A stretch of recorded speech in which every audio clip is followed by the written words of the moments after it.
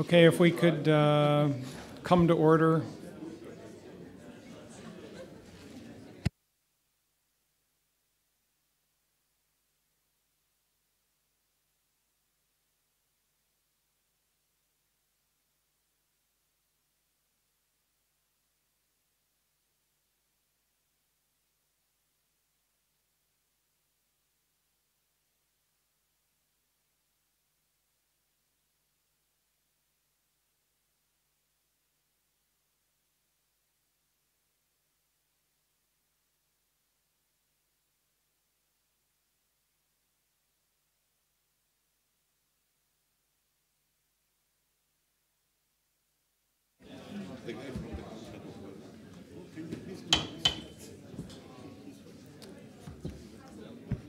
Okay, I think we're ready to uh, move into our afternoon session, and we'll start off with um, with document 4.1.2, the Global Hydrometry Support Facility.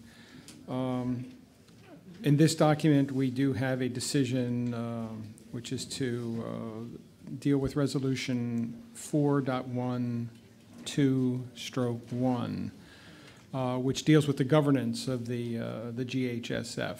And so to introduce this uh, document, I'll turn to uh, the Secretariat, Dominique. Uh, thank you, Mr. President. So the goal of the Global Hydrometry Support Facility is, generally speaking, to support the WHYCOS framework and the global effort to provide and disseminate in a sustainable way hydrological data information and including innovation ways in the whole value chain. And in its establishment, so it's based on the WMO Congress uh, decision from last year. Um, to, and the proposal for a global hydrometry support facility was endorsed by the Executive Council uh, 68 this year. And telling that it is to be funded by voluntary contributions. And the Swiss Agency for Development and Corporations, the SDC, will support the GHSF office for the 2017-2020 period, in particular by financing three uh, professional positions. And the elements of the GHSF are uh, first uh, WHYCOS, so the World Hydrological Cycle Observing Program, the Global Innovation Hub, the WHOS and Hydrological Service Information Platform, and finally an help desk. And as said yesterday, so the GHSF will start fully in 17, early 17, and um, it should be fully functional in 18. So one of the major components of GHSF stays the WHYCOS, and GHSF, and particularly the Innovation Hub, uh, should help create a kind of new dynamic and shape the WHYCOS in and the different uh, components the HYCOS projects, to substantially correspond to global challenges, satisfying national and regional needs, and taking into account new technology and an open data policy. And that innovation hub is really something crucial for these new developments. And we know, so all around the world, there are new developments in low-cost uh, technology, um, innovative sensors, communication technology, data synthesis, could be measurement techniques, could be citizen observatories, could be uh, new information technologies. That could be very beneficial for WMO, for, for, and for WHYCOS. And WMO would like to take advantage of, of this. And we are not starting from the scratch because uh, we already tested that capabilities with a pilot study that was called IMOMO for Innovative Monitoring and Modeling Approach that uh, the, the Swiss SDC has been promoted since uh, four years or so. And uh, we achieved a proof of concept status showing that there is a real potential and that IMOMO could be a good example of what we like to do within that innovation hub of the Global Hydrometry Support Facility. And the role of the innovation hub uh, will be developed and implement uh, innovation tools for, generally speaking, water monitoring and information systems. Um, we will issue one or two calls a year for hydrometric designs for, for new project and coordinated with ongoing projects from the research, from, uh, from other uh, agencies, and together with the, the, whole WHYCOS um, framework and uh, coordinated the testing and implementation of new technology and methodology in the, the, the, different projects. And that could be a kind of answer for, from my side to the questions this morning from UK and Turkey. And I could see here uh, a link to the Project X we, we, we explored this morning, or generally speaking, to the, um, the quality management system and framework. So WHYCOS could identify gaps and needs for new technology and approaches, and the innovation hub could find solutions, different type of solutions, and then the project X uh, could test these solutions and then assess the quality of the new techniques and see how to link them with more traditional approach. That, so I, I see these links, and I, I think that um, the question of this morning were very valid. And generally speaking, it's not just about technologies, also to reinforce the relations with the, the key technical and financial partners and users from international, regional, and national organizations. And as said, another component of uh, the GHSF is the, the WHOS that we'll discuss later on, and an hydrological service information platform based on the existing InfoHydro, and this platform should provide to potential funders of uh, hydromet projects with current information, any kind of water monitoring organizations, uh, the uh, capabilities, structure, and services of these uh, organizations, and uh, also their networks and data sharing. And in addition to all these, uh, the GHSF will also have an help desk a kind of push-pull system. So if uh, any agency has questions they can address to, to, to, to, the help desk, we will have a kind of uh, frequently asked questions to, to, to support all the members. And this will be modeled together with the, the help desk of the um, Associated Program on Flood Management, the APFM. And a word on the organization. So yesterday, the president recalled that you cannot manage what you cannot monitor, right? Mr. President. So I would say you cannot monitor what you cannot manage. so the GHSF will need a strong governance. And uh, that will be secured uh, through an advisory council that will provide guidance for the GHSF office and ensure that the GHSF uh, is visible and relevant to all um, political levels and that advisory council uh, will supersede the current um, WIAG, the WHYCOS International Advisory Group, and incorporating the most essential functions of that, uh, of that group. And actually, the EC, the Executive Council, requested the President of the Commission to constitute that um, Advisory Council and to adopt the term of reference and the membership. And this is in the annex to the draft resolution that the President mentioned earlier. And finally, um, the Innovation Hub will as well need a specialized guidance. So it is proposed that an Innovation Hub committee uh, to be established as a kind of subgroup of that advisory council with ad hoc members, additional members, and coming from research, coming from institutes, and coming also from um, small or medium enterprise. That also as an answer to Uganda yesterday and today. And um, also here we have an annex with the proposed term of references and membership for, for that uh, uh, Innovation Hub Committee. And last word concerning more outreach and branding, uh, a key for the success will be contribution from members, W members, from experts, from financial partners. So we have to attract these contributions and the GHSF. You see how difficult it is to pronounce that, GHSF we have to have a clear, recognizable identity. So the present name is very clear in describing what uh, the facility should uh, should do, and we should maintain officially that name. But it is proposed for rather public relation to, to, to rename the GHSF or to, to, to, to be referred as an hydro hub, as suggested by, by the president. And uh, as, as said, the decision uh, resolution is about the term of references and composition of the both Advisory Council and Innovation Committee. Thank you, Mr. President. Thank you, Dominique. Um, Floor is open for uh, discussion of this item.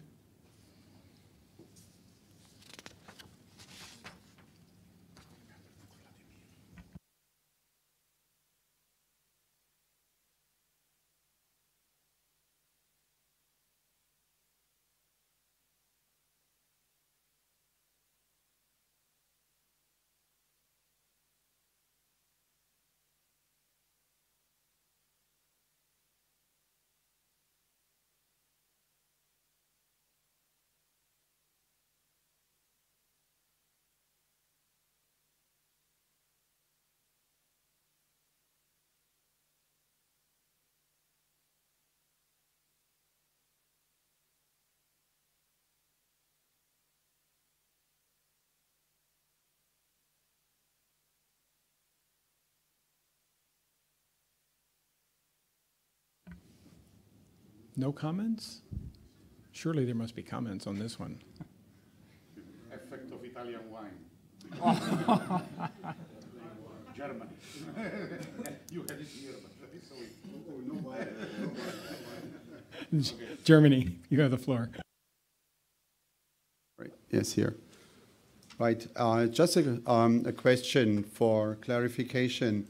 Um, in this document, um, how would you see the positioning of global data centers like the GRDC in relation to the further development of WHOS? I know there is some room for further explanation in the implementation uh, in the next document, but is there anything to be said right now or not at this moment? Just for clarification, it's not an intervention as such. I think at this point, Wolfgang, it, it's appropriate to be in the next document rather than this document. Okay, thanks. Others?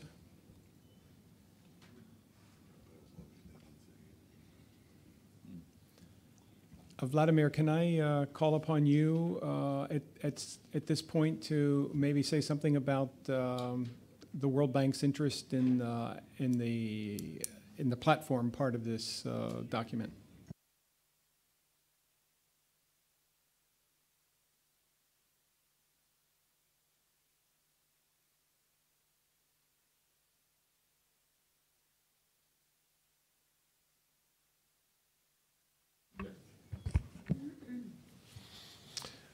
Okay, thank you, Mr. President. It's a challenge to me to be in that huge gathering and very technical and knowledgeable people. I'm not hydrologist, just to say a few words about myself. Uh, but I dare to, to speak to you because we in the bank, and our bank is not commercial bank, it's development bank, care about development agenda, and we see strengthening national hydrological agencies as one of development agendas. How should I put it? Press.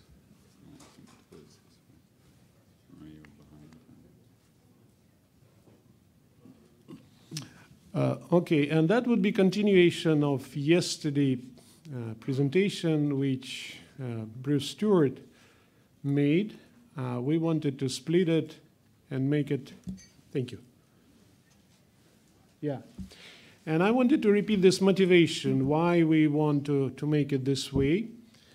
And motivation uh, is driven by the very obvious fact that status of NHSs in many countries is not adequate and not satisfactory to, to address the user needs. Let me see what I'm, what I'm talking about. Uh, and unfortunately, provision uh, of that hydrological services in most developing countries, and I insist on developing countries, uh, is inadequate. And in some countries is going down, and that creates a big development obstacle if we really care about safety, about resilience, about adaptation to climate change.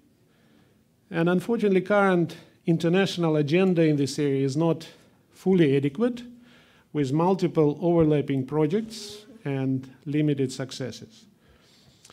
What I feel, and that's my personal feeling, uh, you may correct me if, if I'm wrong, that the voice of national hydrological agencies, particularly from developing countries, is not sufficiently loud, not heard, and therefore it's both invisible, if I may say so, both on the national and international agenda. And the main point I wanted to make in this presentation is that we have to complete the path, uh, follow the path which uh, colleagues from national, uh, national meteorological and climate entities uh, developed recently to confirm that we uh, all moving oops, uh, on the on that front, on the um, front of meteorology. For illustration, I, I, show this map with a portfolio supporting NMHSs and mostly on meteorology and climate from the bank portfolio. Now it's over half a billion projects globally. And 10 years ago, there was nothing similar. 10 years ago, when, for instance, our group was just in the infancy, uh, there were three projects uh, primarily in the ECA region. It was Poland, it was Russia, and it was Turkey where we had projects. Now, as you see, it's proliferation of uh, this meteorological support activities. We work, of course, jointly with WMO, with a number of other entities, and it's mushrooming now. Few of these projects which, which are on this map includes NMHSs, and even fewer are now in the development which support NHSs, primarily in Africa where uh, the institutionally it's split. Uh, so question which I ask myself, can NHSs repeat that successful upward trend in terms of support for developing countries? Yes and no, uh, because there are many differences, and the business, again, correct me if, if I'm wrong, the business uh, of national hydrological agencies is more complicated. First of all, it's complicated institutionally because it's smaller. If you remember that budget estimates which Bruce showed you yesterday, uh, in the National Meteorological Agency's average budget is in hundreds of percent in respect to GDP. In case of NHSs, it's thousands or percent of GDP. So it's five to 10 times lower. It's usually lower institutionally because it's not departments, it's not divisions sometimes, it's sometimes very tiny entity in many countries. And that makes things difficult. Uh, also, geogra I mean, geographically and physically, uh, the, the subject is, is more complicated. You know it better, I would not go into that. I dare to say that uh, maybe that would be not welcomed by, by Secretariat, but, but in my view, this global infrastructure which supports meteorological part is much more developed than for hydrology, and that also creates some additional difficulty. But still, in my view, despite all that differences, uh, we should follow the same path as we, we as the development community uh, seeing in, in recent decade.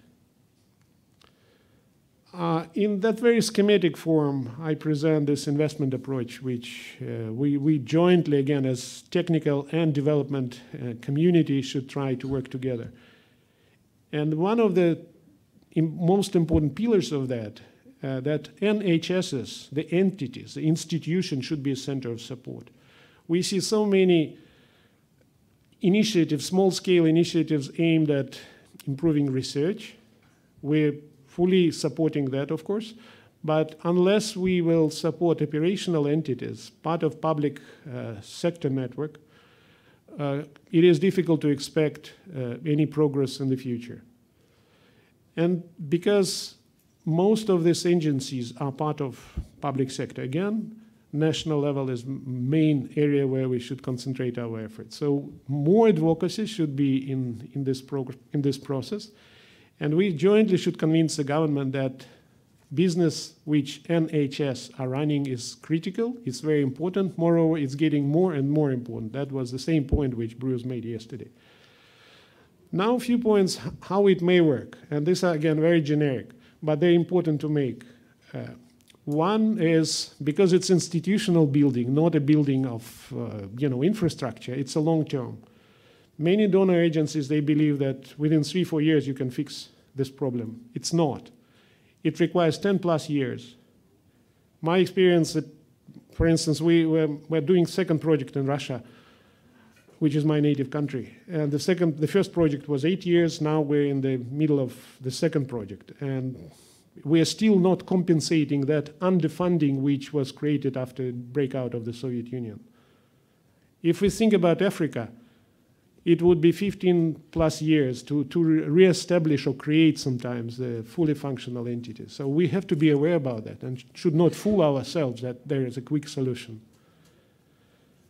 Modernization is a complicated process, but we argue in favor of having sufficient critical mass, including uh, three layers of activities. I mentioned already capacity building and institutional support as a number one priority. Second is infrastructure. Without instruments, you cannot do breakthroughs. You, you, you should have something to, to deal with.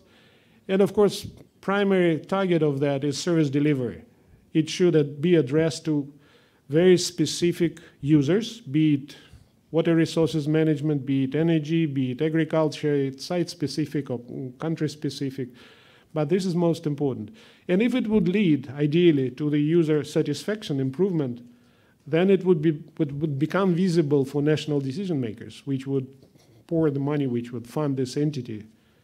It's, of course, idealistic, but I don't see any other way to do it unless there will be some big global fund, be it Green Climate Fund or some other big facility which will pump money in this forever, which again is even more idealistic. So, with that, I will again repeat what uh, was presented largely by Bruce yesterday.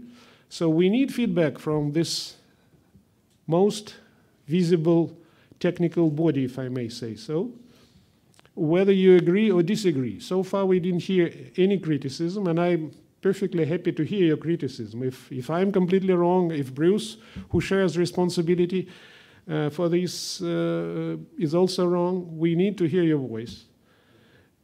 Are we more or less correct in making this assessment? We need some confirmation. Is there any knowledge in this room or somewhere that there are some different approaches? Is there any successful business model? Some private companies are approaching us and promises miracles. I don't believe in miracles. Maybe there are. So give us that miracles. We will be happy to distribute, share, and prove that miracles do exist.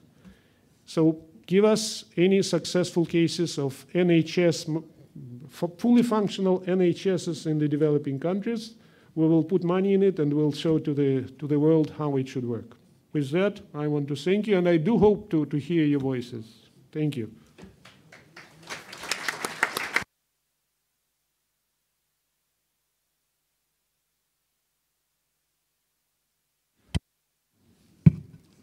Anyone have any comments, questions for Vladimir?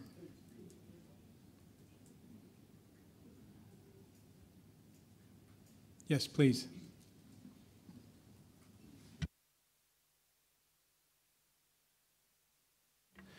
Bueno, la, la, pregunta tiene que ver con si existe una manera directa o explícita para determinar el costo-beneficio de mantener un servicio hidrológico sano o viable. Es decir, en, en, el documento 68 de la OMM hablan de una relación de 1 a 40, de un dólar invertido en servicios hidrológicos reditúa en 40, pero me parece que es una regla de dedo que no dice de dónde salió. ¿Cuánto cuesta no medir? en el sector agrícola, en el energético, en la reducción de desastres naturales. A, ese respecto, que no existe esa relación explícita, directa.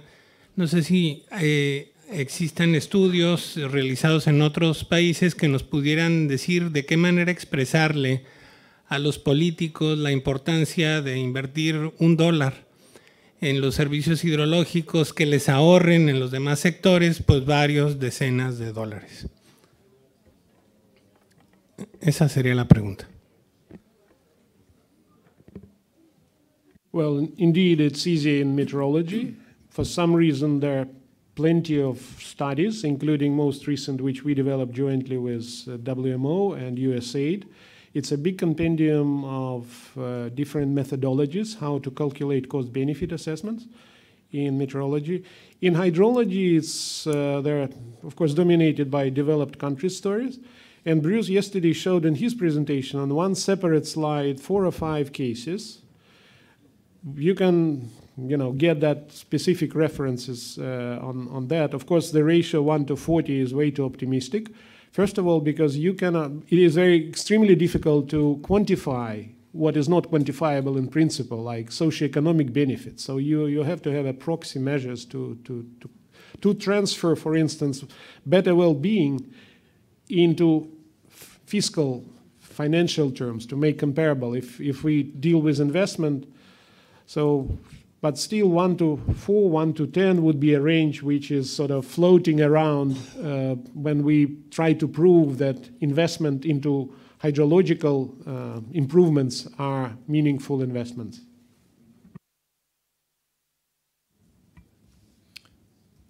Other questions or comments? Uganda, please. Uh, thank you, Chair. I think this assessment is, is mainly focusing on developing countries. Uh, I agree there, are problems, uh, but I think we also need to disaggregate these problems and see the area which is performing well and those areas where we have problems. Uh, as you know, most of the hydrological services in developing countries are actually supported by uh, development partners. And, and this is because uh, in some instances, some of the budget lines which we have uh, under these uh, services are not understood by the central governments. For example, uh, as we upgrade our systems and we have communication costs uh, where we have real-time data, these budget lines are really not traditional uh, expenditure lines for government, and they have not been able to appreciate that. Now, if we are talking about sustainability, we need to appreciate the fact that uh, if you look at the, uh, the, the experts or the human resource, you may actually be surprised to find that we have well-trained and capable experts in these developing countries. Uh, the problem would be uh, sustainability in terms of the financing, which I've already talked about. And why do we have the experts? It's just because we have a number of regional projects. I come, for example, from the Nile Basin area, and there are a lot of environmental issues that are discussed. Uh, we have a number of projects, and we have been able to, to train our manpower, and therefore we have the capabilities in those areas. Um, on terms of this financial sustainability, I'm looking now at the role, the role, as I said, central governments do not appreciate these budget lines I gave an example of the communication uh, costs for transmission of data, for telemetry stations, for example. Now, for us, I think from the developing side, developing countries, we would want advocacy of WMO to these central governments. I think that's the main role they can play. We've been also trying to talk to the AMCOW. This is, I think, the uh, African Ministerial Council of uh, for water to do advocacy so that we, we can increase the budgets for, for, for these activities. So what am I saying? I'm saying, yes, I think the analysis is, is true, but I think not everything is lost. We can look at that angle of um, uh, uh, advocacy. I think it is within our ambit that we can address that issue so that we move towards sustainability of these uh, services. Thank you very much. Thank you. Maybe as a, a, little bit of a guide here, I think one of the things that we're sort of interested in is we're, we're talking in this discussion also about value chains. So when we're looking at developing capabilities with respect to infrastructure, we're also looking at capabilities with respect to flood forecasting, the APFM kinds of things. These are all part of the service delivery and value chain uh, that stems from from having uh, well-established monitoring networks. And so we have to look at, at, at this sequence of things um, that, that come into play from having a, a reasonably well-established uh, basic operating network. Other comments? Is Italy, please. Uh, I think that when we talk of quantifying the benefits of the hydrological services, it's not sufficient. We should also talk about qualify the benefits because in most cases, end users are not aware of the potential.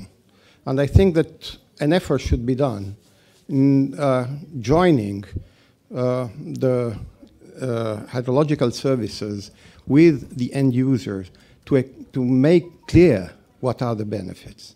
Then we can quantify them. Thank you for that. Bruce, did you have something you wanted to say? Just, just very quickly, I suppose, and that's to bring it back to, to the agenda item, which is, which is focused on hydrological services information platform. In, in effect, I think what Vladimir and, and I tried to say yesterday is there, there isn't sufficient information out there to make real evidence-based statements with respect to these matters and these issues. And, and we would hope that through this process and through a continuous process within WMO and, and the Commission for Hydrology, that evidence base would, would be available. And that's data and information about the NMHS is collected on a consistent basis. It's, it's very difficult at the moment to make uh, these statements in support of increased budgets without that evidence base. And, and so that's the connection, if you like, through to, to what's within the documents here in, in, in before the Commission. Thank you. Thanks for that clarification. Romania? Uh, this um, aspect is uh, very important for all country, I think, not uh, only for the developing country. And uh, in my opinion, uh, uh, the subject can be developed because here we have a representative of each country.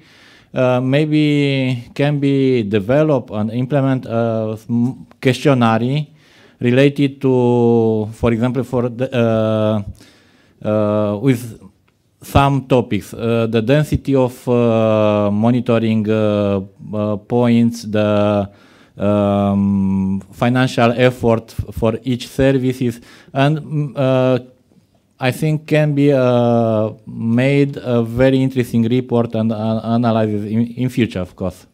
Thank you. Thank you. Claudio, please. I'll speak as Panama here. no, it's just that I would like something that I would like to say from what uh, uh, Bruce, I mean, following up on what Bruce said, and in order to, to take a decision. When the World Bank approached us about the, the assessment, and if you remember the presentation of tomorrow, of yesterday, there were two phases. One, a quick assessment, global one, and, and then the one that currently is undergoing more detail. Now, we, as we, WMO, told them from the beginning look that the, the uh, quick assessment, it cannot be quick. It has to be continuous because there is not enough information. What Bruce was saying is exactly that there is not enough information. We always said you cannot manage what you cannot monitor. Here, what the World Bank is talking about is managing NHSs. Well, we don't have a, a real status of what is the situation worldwide of the NHSs.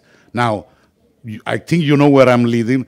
This, the only thing that resembles that's the, is the with all the uh, um, problems that it has. And the consultant that made the first assessment for the World Bank proposed a review of the InfoHydro, actually in addition to the questionnaire, to add questions that were not asking the InfoHydro about budget, what is the budget available in different activities, about staff, what is the staff available, management system.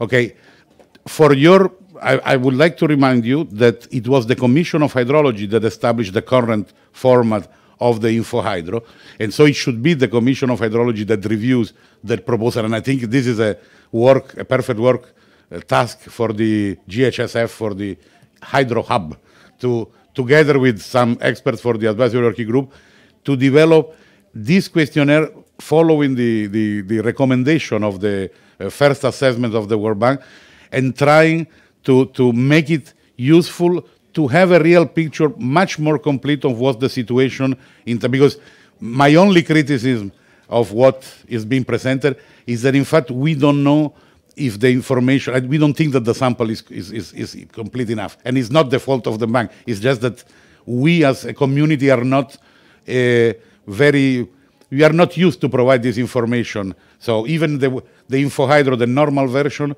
has only 40 responses, in, uh, and we have been promoting it for 30 years.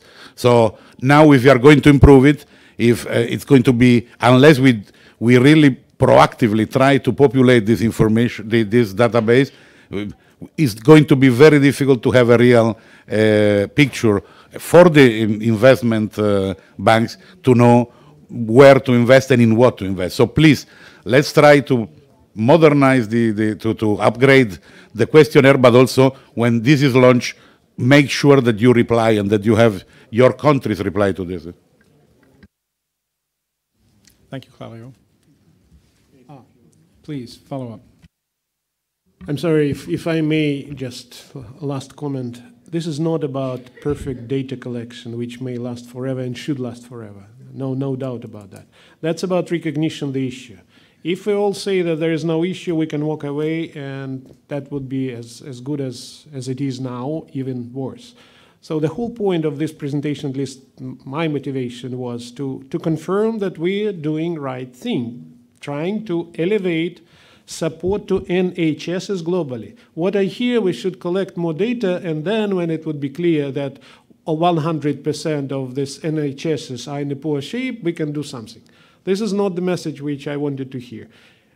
Please tell me if I'm wrong or if, if my understanding is correct, we should continue collecting this data another two, three, four, five years, and we will do that too as well. What do you think?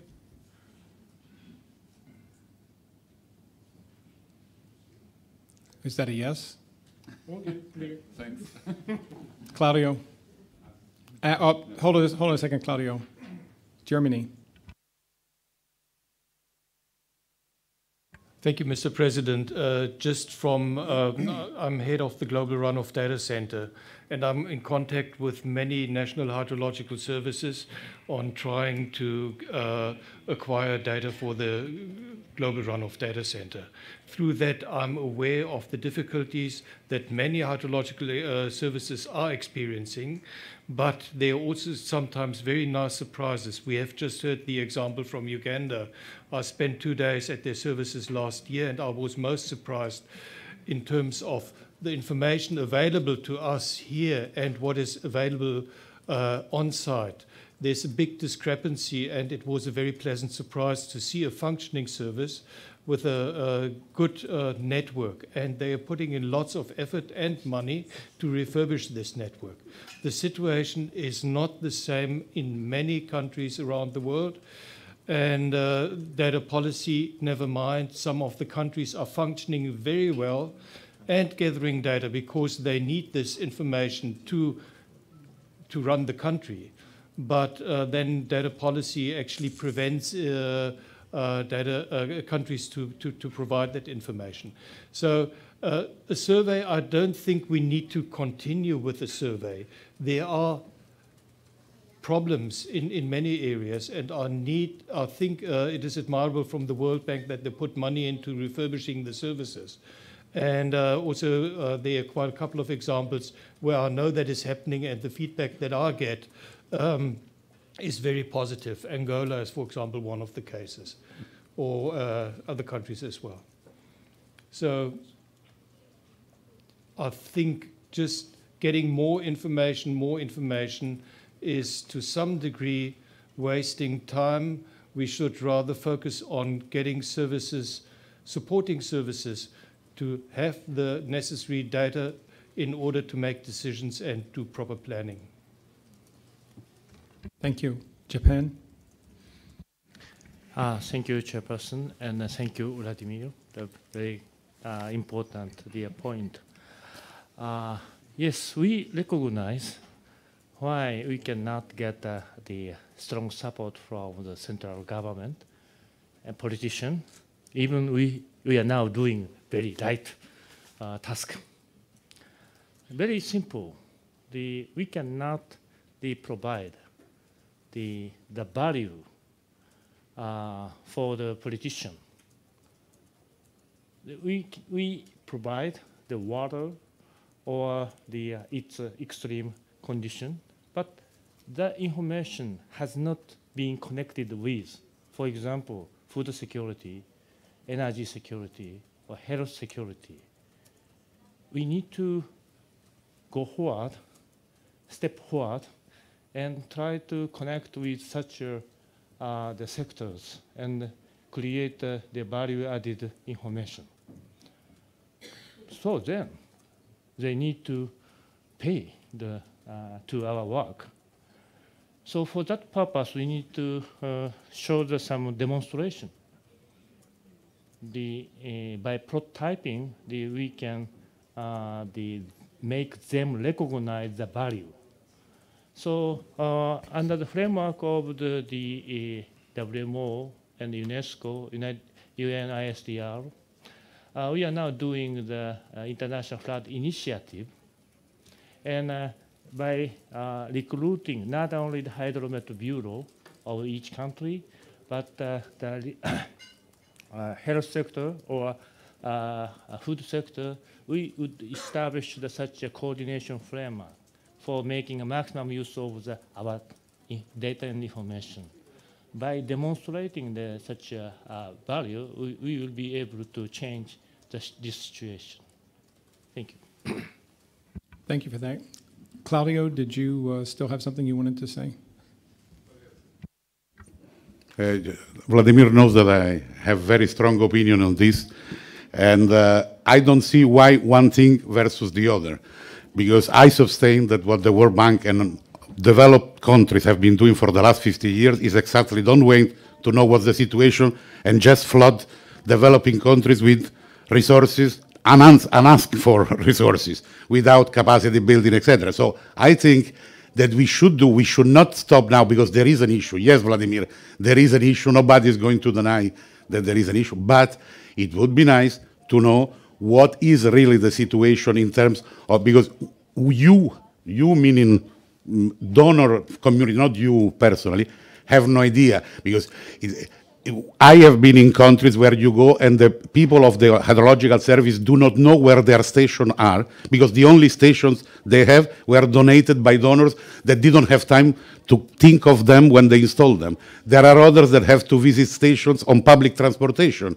So it would be nice, and it's it was your consultant that suggested, please, let's include information on staff, on budget resources available. So I'm not saying wait five years until I'm saying, let's do the two things in parallel. Let's invest in those countries, like you're doing, by the way, in those countries, as you showed, but at the same time, let's have a better picture.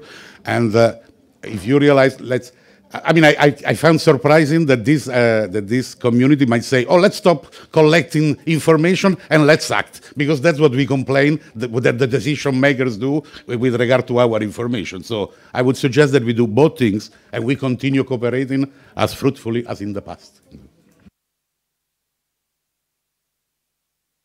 Well, fully agree. And if, Claudia, we, we had so many interesting debates, but just to reiterate again, few, few bits.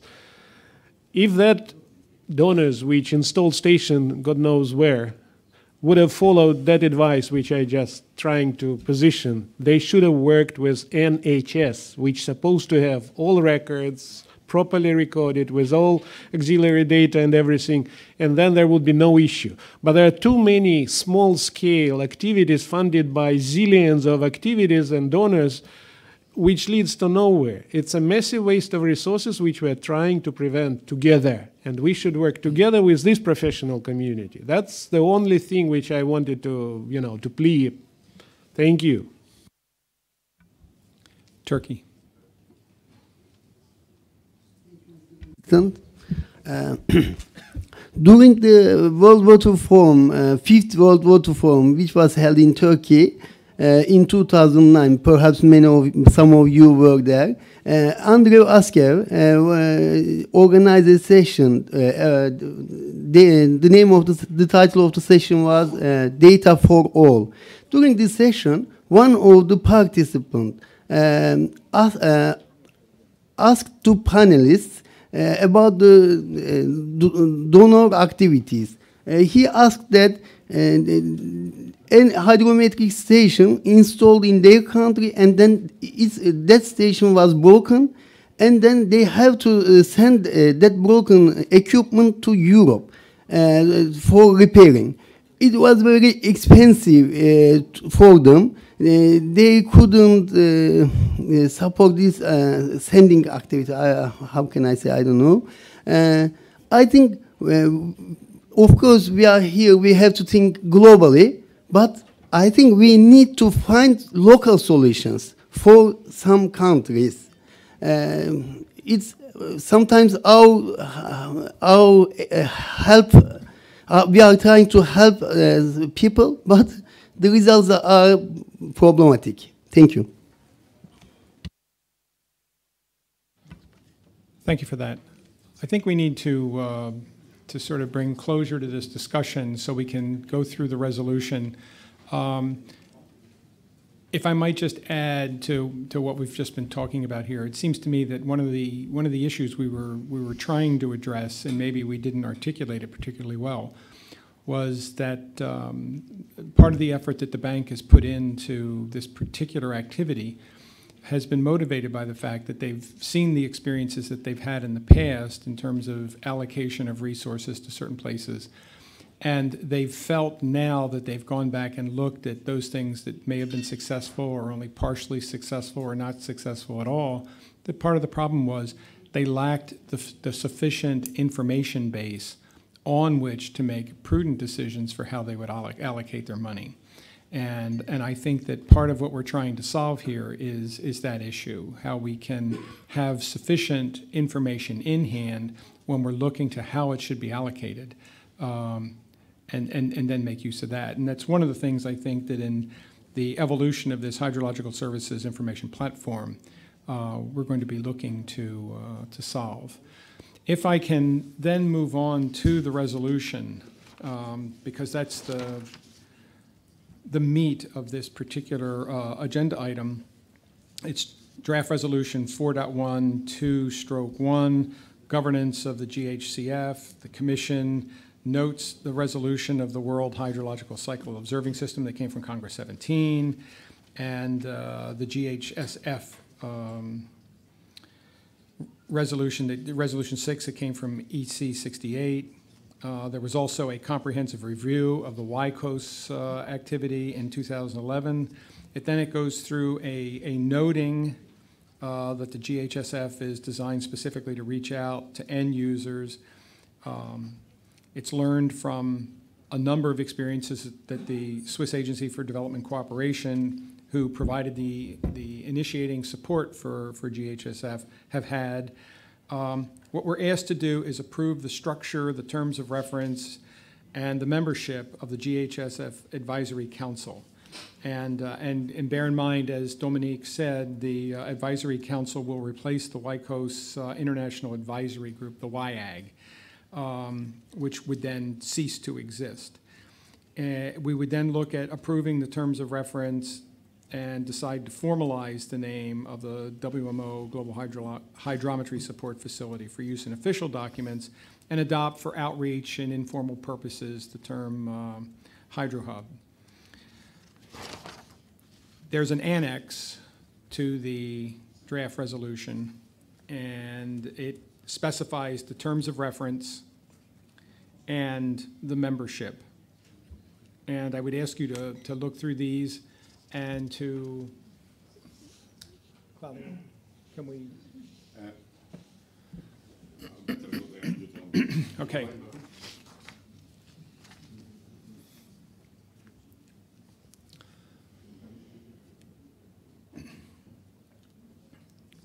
Okay, so let's just go line by line, starting with the resolution itself. Um, So anytime you have something to say with respect to each point, let me know. We're looking at noting.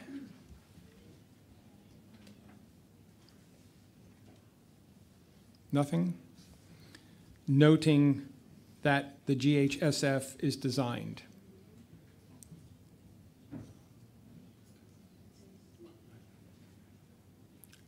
Having learned.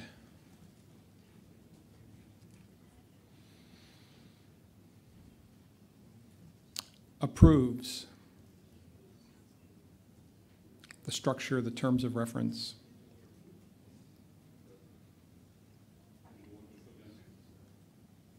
Yes, go to the annex now.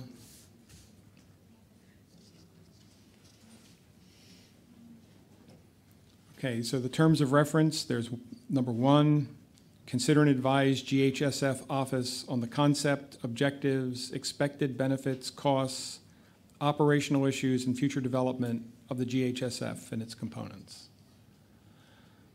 Number two, review and assess the status of each GHSF component and the progress toward fulfilling their respective objectives and propose strategies for necessary remedial action. Number three, review the relationship of the GHSF with other relevant international programs, particularly from the point of view of coordination and avoidance of overlap, duplication, and recommend corrective actions. And number four, periodically review and advise on its terms of reference and composition. And then with regard to innovation activities, there's number five, to approve the GHSF innovation strategy and innovation focus areas. Six, appoint the innovation committee and periodically review its composition. Seven, provide oversight of and advice to the Innovation Hub Committee in defining focus areas for the hub, reviewing the respective calls for proposals, reviewing submitted proposals, and approving of funding. And eight, advise on advances in innovative hydrometric technology and the individual organizations doing so. So these are the terms of reference um, that have been developed. This is something we can all live with? We think this is inclusive enough? Anything that shouldn't be here? Okay, then in terms of membership, under item two, uh, what we're proposing here are nine members uh, to make up this um, advisory council. Um, the president of CHY, who would then serve as the chairperson, one expert from the CHY Advisory Working Group, one representative from the World Bank, a representative from the Swiss Development Corporation, a WHYCOS stakeholder, and, and in particular, in that regard, someone who's had previous experience in a HYCOS project. An innovation hub stakeholder someone with past or current experience. And there have been a number of things that the Swiss were supporting where we do have a, a cadre of individuals who have been working on these issues. One representative of the Association of Hydrometeorological Equipment Industry, HMEI, and then two representatives from UN organizations that have a vested interest in hydrometry. So these are what have been laid out as, as the membership. Um, there could be observers um, that go beyond this, uh, such as financial partners, uh, WMO regional hydrological advisors could be invited. Uh, and of course, the chief of the Basic Systems and Hydrology Division shall serve as the secretary to the advisory council. The term of membership coincides with the intersessional period of CHY, so these things would be up for rotation every four years. The same representative may be reappointed by his or her parent organization for an indefinite number of terms. If it is considered necessary for the implementation of the project, the president of the CHY, in consultation with the other organizations involved, may revise these terms of reference and the composition of the membership and then finally, the GHSF Advisory Council shall meet preferably two times a year, mainly by video conferences, but with at least one face-to-face meeting during the intersessional period. And the secretary will produce minutes and, and action points. So this is the package that we're looking at here. So are we comfortable with this, li- the listing in this annex for the terms of reference and, um, and the membership? Uh, Czech Republic, you have the floor.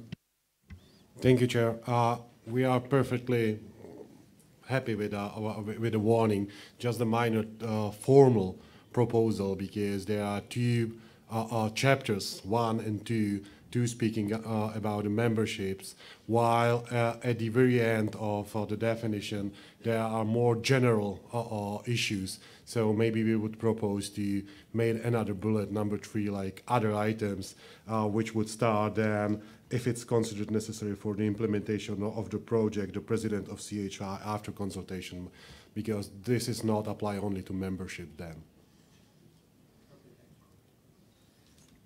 Thank you. Good intervention. Um, Anyone else on the terms of reference? Yes, Canada. Uh, to follow up on a couple of comments regarding the linkages between this and the uh, Project X, uh, perhaps the membership could we could make sure that uh, there is the link there between the, the two uh, the two projects. So the the um, uh, AWG member could be the AWG member responsible for Project X, for example, or it could be an observer, or could be specific, specifically mentioned that a link needs to be made between Project X and this.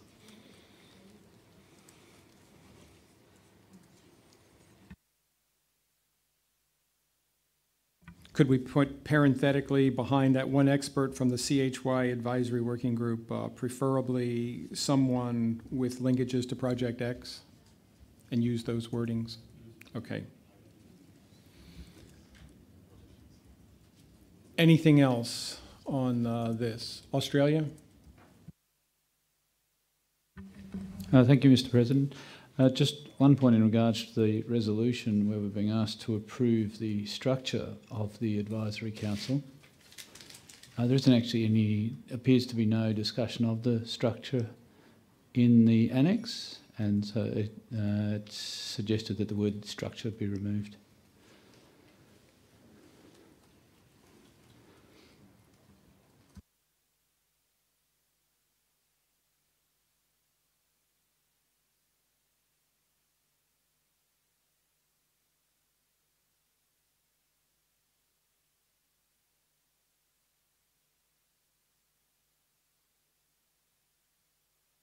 Okay, um, in the background section, we do have uh, a characterization of the elements. Um,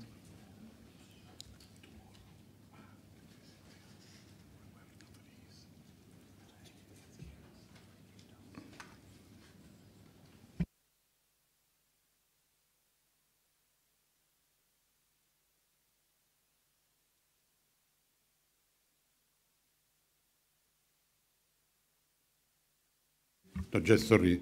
not to me, perhaps is the wrong word in English, but the structure refers that there is a proposal of having a subgroup for the innovation. So the, the advisory council, because originally it was only one council. Then uh, I understand, but Dominique will can explain better that in discussing uh, more the original proposal that had been submitted, it was realized that the innovation habits it has a lot of work in itself to call to make uh, innovation calls, calls for innovations, etc. So it was decided to have a separate. So I wrote the sentence of structure. I refer to that, to the fact there is a, a group and a subgroup.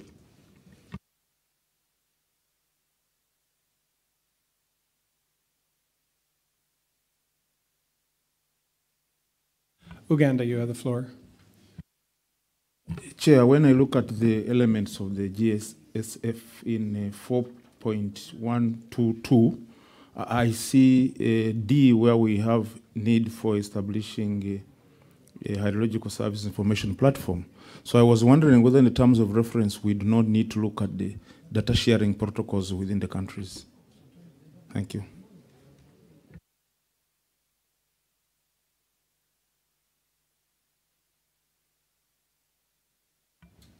Thank you for that. Uh,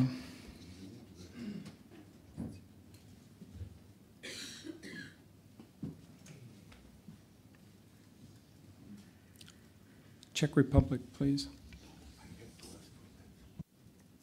Thank you. Thank you again, Chair. Uh, in response to Canada's intervention, we would like to point your attention to other document uh, uh, that we have, uh, specifically document number eight, which uh, is about the future work program. And we would like to point that under the focus area of measurement, monitoring, and info systems, there's an item already uh, uh, which says that there would be one of the topic, one of the activity will be G, Hydro Hub, thank you, serve as a member of the uh, GHSF Advisory Council. So it's already listed, therefore we would prefer not to add specific comment uh, uh, to this resolution on uh, uh, the one responsible for Project X because we have this as a proposal for specific activity within the next future AWG work. So, so we will decide then uh, who will cover that and that would be one activity of one specific member anyway.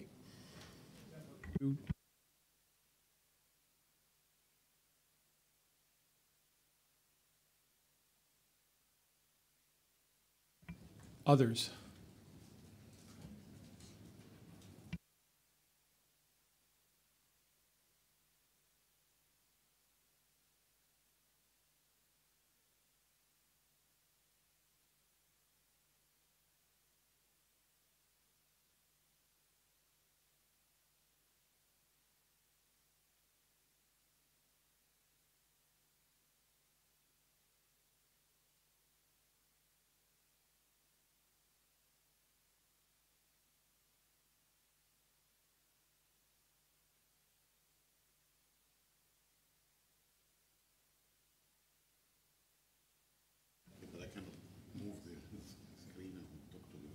Oh, yeah, yeah, I know, I understand.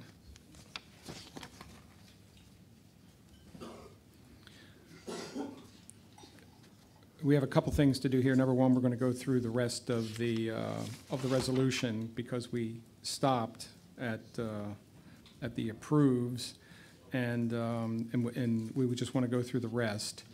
Um, And then I have a question for the delegate from, uh, from Uganda. Actually, you can, you can do it that?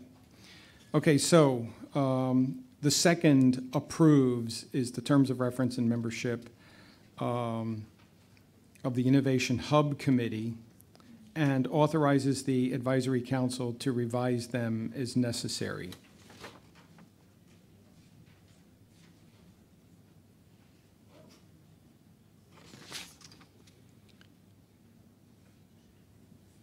And then we move to decides to formalize the name WMO Global Hydrometry Support Facility for use in official documents and correspondence, and to adopt for outreach purposes and other less formal purposes the shorter name Hydro Hub. I might just say the one reason that we, uh, we've continued to use the term Global Hydrometry Support Facility is because in um, the EC documentation that has been uh, approved by them, the term was formally used there as the WMO Global Hydrometry Support Facility. So we feel that since it has been uh, addressed by EC in that regard, we wanted to maintain that. And then finally, requests members and funding agencies to support as appropriate the GHSF, particularly for WHYCOS and Innovation Hub components. Um, the, the support that we have from the Swiss um, will carry us through initially, but it's clear that we'll have to uh, seek other funding sources to, to keep this operation moving forward. So that's what this covers in, uh, in the resolution.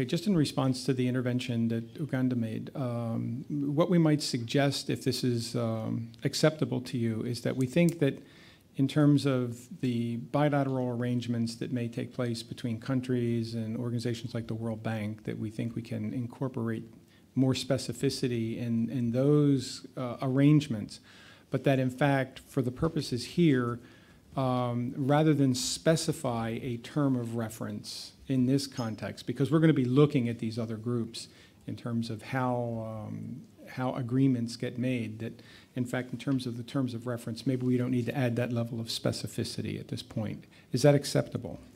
Thank you. Okay, so at this point, we've gone through the complete package. I haven't seen a lot of changes that have to be made here. So what I would propose is that this document can be, um, can be adopted at this point. Is that acceptable to everyone in the room? Acknowledging the interventions that have been made with a, a- a few wording changes. No objection? Up, Czech Republic? It's it's not objection. Just we uh, the formal editing of of the of the first uh, of the annex to the resolution also should apply to uh, uh, the attachment appendix to the annex of the resolution for for for last one or two bullets there because it's again not about memberships, but we are perfectly happy with the wording then. Yeah. Yeah. Yes, agreed. We can add that as a heading title. Yeah, yeah. So is everyone comfortable with what we have here?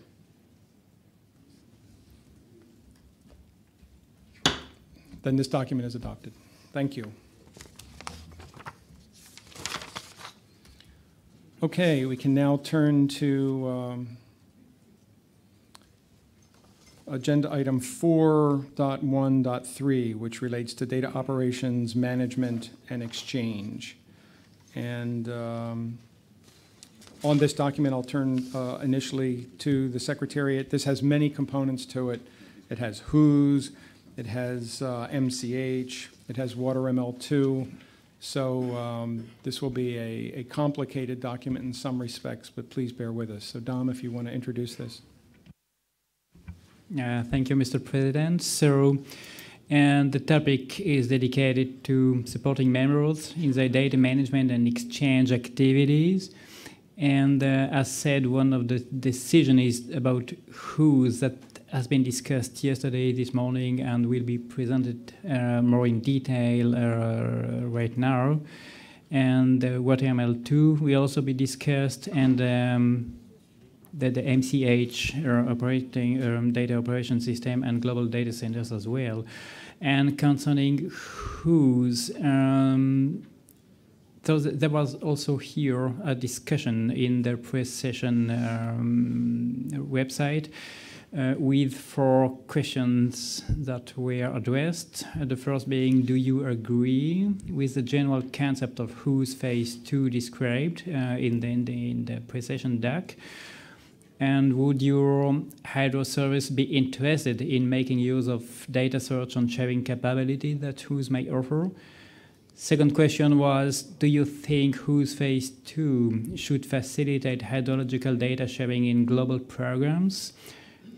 Question three was, would you prefer that WHOS Phase 2 take into account specific requirements at the basin scale? And question four was, in order to implement WHOS uh, Part 2 operationally, a round-the-clock system of technical support is required, and typically this is provided by MET uh, services rather than Hydro services for historical reasons. And the question was, do you think that WHOS should seek support from existing meteorological data centers, or should it develop its own infrastructures? Uh, we received 12 answers for, for that, and generally speaking, there was an agreement uh, on all the questions, but with several issues and points to be addressed in the next phase. And some of the points were that all not not all of the data should be shared. So it's about data policy and uh, th that uh, need more explanations or more clarifications and as well as the role between WHOS and the global data centers uh, on maybe as well IFAS should also be clarified. And uh, there is also a good point telling that we should find a way to convince the, all the National Hydrological Service to, to, to join the, the whole uh, WHOS dynamic. And concerning the fourth question, and uh, uh, concerning the round the clock system, it was not completely clear what that means, so we, we also uh, didn't get uh, completely clear answer. But maybe Silvano Pecora could uh, explain the whole domain and explicitly also addressing uh, that point. So if the President agree, we should give the floor to Mr. Pecora with a short presentation. Yes, Silvano.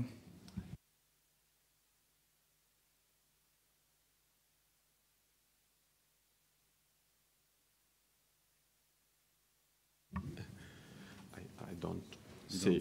It's a,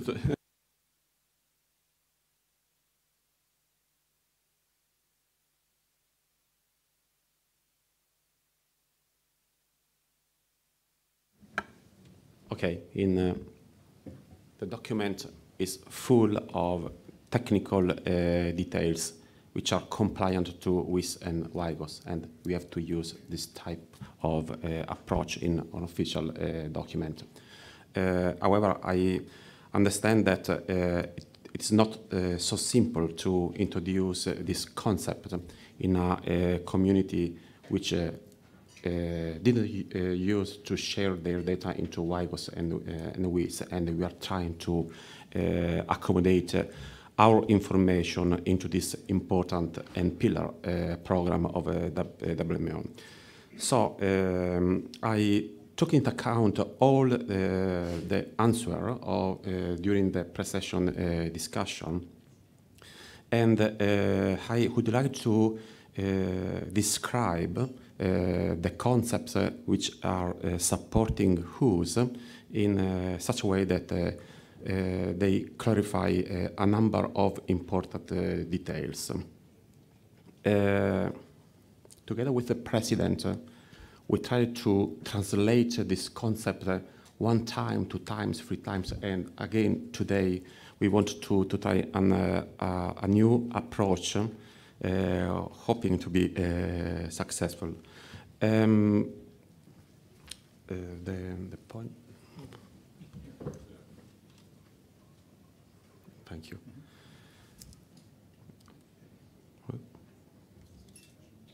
Okay. Uh, just remember that we introduced, the president introduced WHOS as the hydrological component of uh, WIGOS. And now we are trying to uh, promote this uh, program among all the national hydrological uh, services. Remember that uh, WHOS was uh, supposed to uh, um, um, to be uh, composed of two phases, phase one and phase two. Phase one is just a map, while this phase two is this cyber infrastructure that I want uh, that I'm going to uh, describe. So this is the um, pre-session discussion uh, which I took into account to uh, arrange a working prototype uh, which is just a description of the concepts which are mm, into the document which we have to we should approve. Let's start from our needs in hydrology. We would like to share hydrological data in real time or quasi uh, real uh, real time. We would like to share historical data to describe uh, uh, events in which we are interested. We would like to support uh, analysis, uh, for instance, between current extreme events with, with the past, just to understand their features. However, we, have, we are facing a number of uh, uh, limits, things of uh, different languages, different formats, different techniques which we are applying for sharing our hydrological data. However, we have common needs in terms of uh, management of water resource or uh, planning of uh, river basin or coping uh, emergencies. Um, it's quite strange uh, that despite the available technologies, uh, we still have this type of problems. So I think that uh, there's a moment in which uh, we should think how we can solve this uh, common problem and WHOS would like to support uh, the adopted solution. For sure, we cannot stop extreme events, so in some way uh, it should be useful if uh, we think about the solution now and not uh, later. Um, WHOS uh, I'm uh, together with a very large international community. I arranged a prototype. I don't want to introduce this prototype as the solution, but just as a demonstration how the concepts which are described in the document can be uh, applied in support of all the national hydrological services and uh, the uh, global centers uh, as well. Um, who uh, should uh, support the program about hydrological monitoring just to identify the priorities, for instance, or during international cooperation for an extreme event, it should be very useful that we know what happens before of we, uh, we go uh, over there. So don't think that uh, we don't need to share local data and the other countries are not interested. Because, for instance, during an emergency, it could be very useful that supporters know what, what is happening. Um, I'm trying to collect uh, what uh, we discussed uh, together with many regional associations. And many, quite often, we receive uh, information, data, observations with uh, different formats, different uh, techniques. So who should support this confusion of, of data? And this happens not only at global scale, but at also uh, at a very local uh, uh, activity. Think of when you share your data with your colleague, which is closer to your office. Um, the additional um, feature that WHOS uh, should support is to improve the discovery.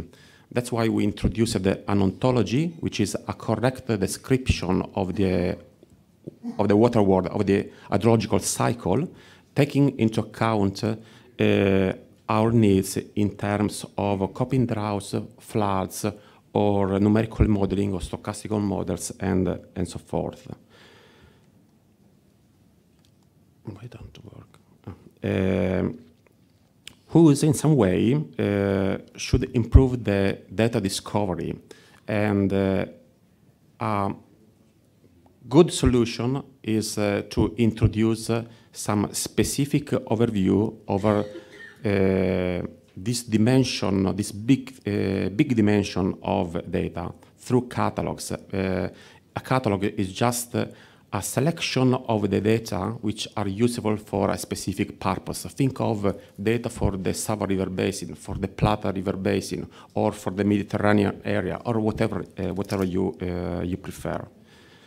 So this is the a working prototype uh, which I developed together with uh, many colleagues in uh, in the world, uh, where you can find uh, WHOS phase one, the map, the simple map, where you uh, you can have information about official web portals and links uh, to real-time data or historical data. This is the case of, of Iceland.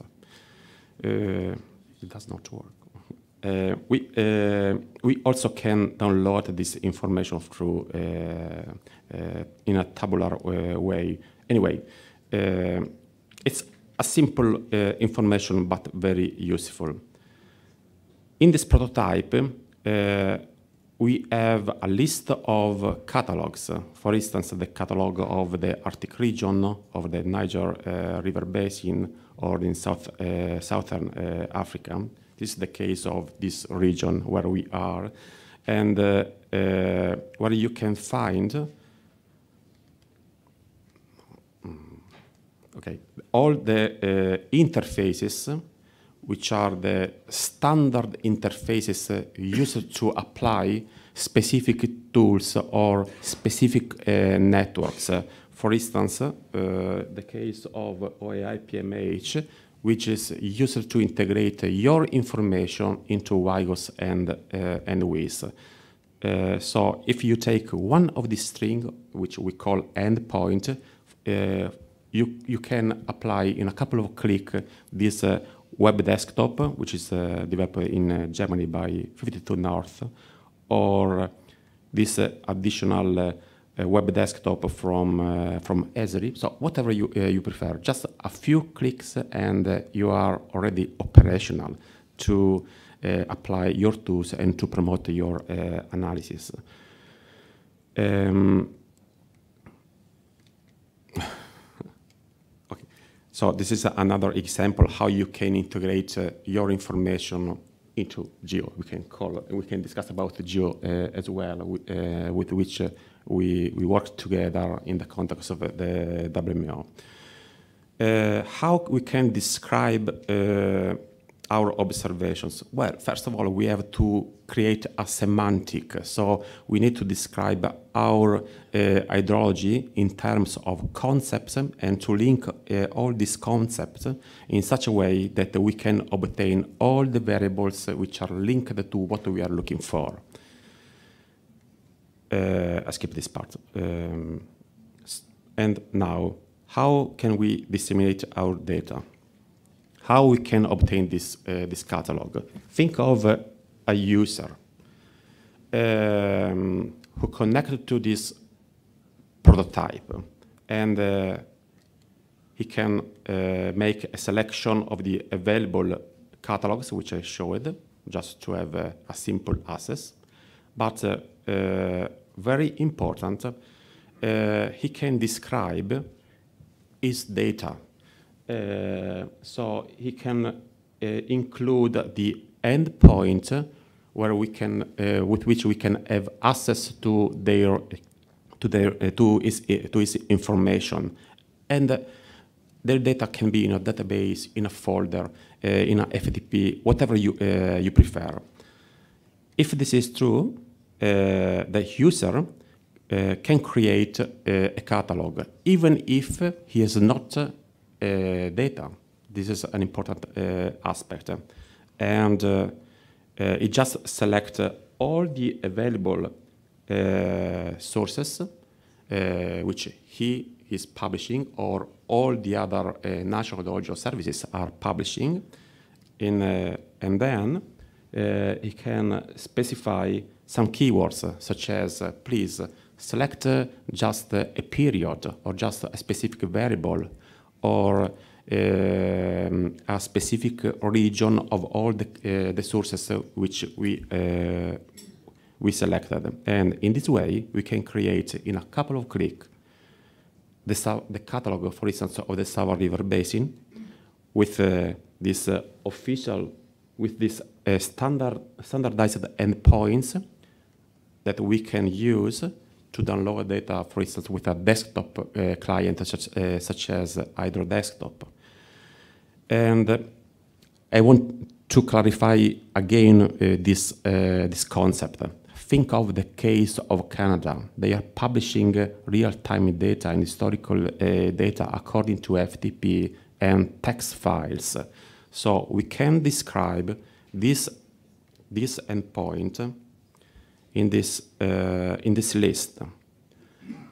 Then we create a catalog, and thanks to the standardized endpoints, we can use Hydro Desktop, so, and we can download uh, data. Why don't, okay.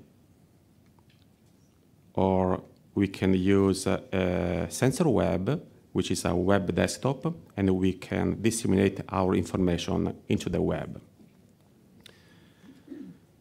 or the case of the Plata Basin, uh, we can support all the countries belonging to this, uh, the Plata River Basin in the same way, and uh, we can create a catalog for this river, and we, with just the standardized endpoints, we can apply uh, web clients or desktop clients as well, and we can manage how this information uh, in a very efficient way. Downloading data according to standard or non-standardized uh, formats. This is the case of a standard, standard which we are supporting, supporting which is WaterML version 2. Uh, the case of hydrological centers, how can we support them? Um, the prototype, we included all the uh, global centers uh, which are supporting uh, our uh, programs. And I want to show the example. Why don't work? The case, for instance, of a GRDC, where we, we can include all the available sources in the world. They can specify uh, a variable and done. So they have the endpoint to their uh, uh, information. And uh, we are supporting a global center to manage the available information in all the national hydrological services, and they can provide their important guidance about uh, uh, how we should collect uh, discharge, how we can improve our discharge measurements, how uh, what, what are the critical parts in the world, and, and so forth. So everything uh, which we need for uh, the program in uh, at CHY. Through this, all these examples, I think that now you know very well the architecture which is described in the, the document. So the document, there is a description of a registry of uh, data providers uh, which are registered into WHOS and clients uh, which can handle the metadata and data which are we, which we can access through the catalog itself. In such a way that all the data providers are registered in WHOS and users can make a data discovery and access data directly from the uh, national hydrological services. When they uh, make a data access, they again they are using uh, web services.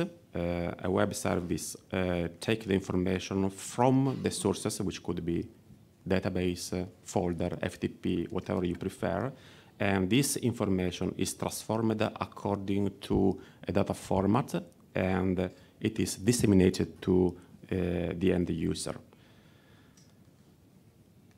Uh, it was a, a, very difficult roadmap because uh, we had to discuss with all the national hydrological services, but we also have to discuss with uh, the experts of uh, data science.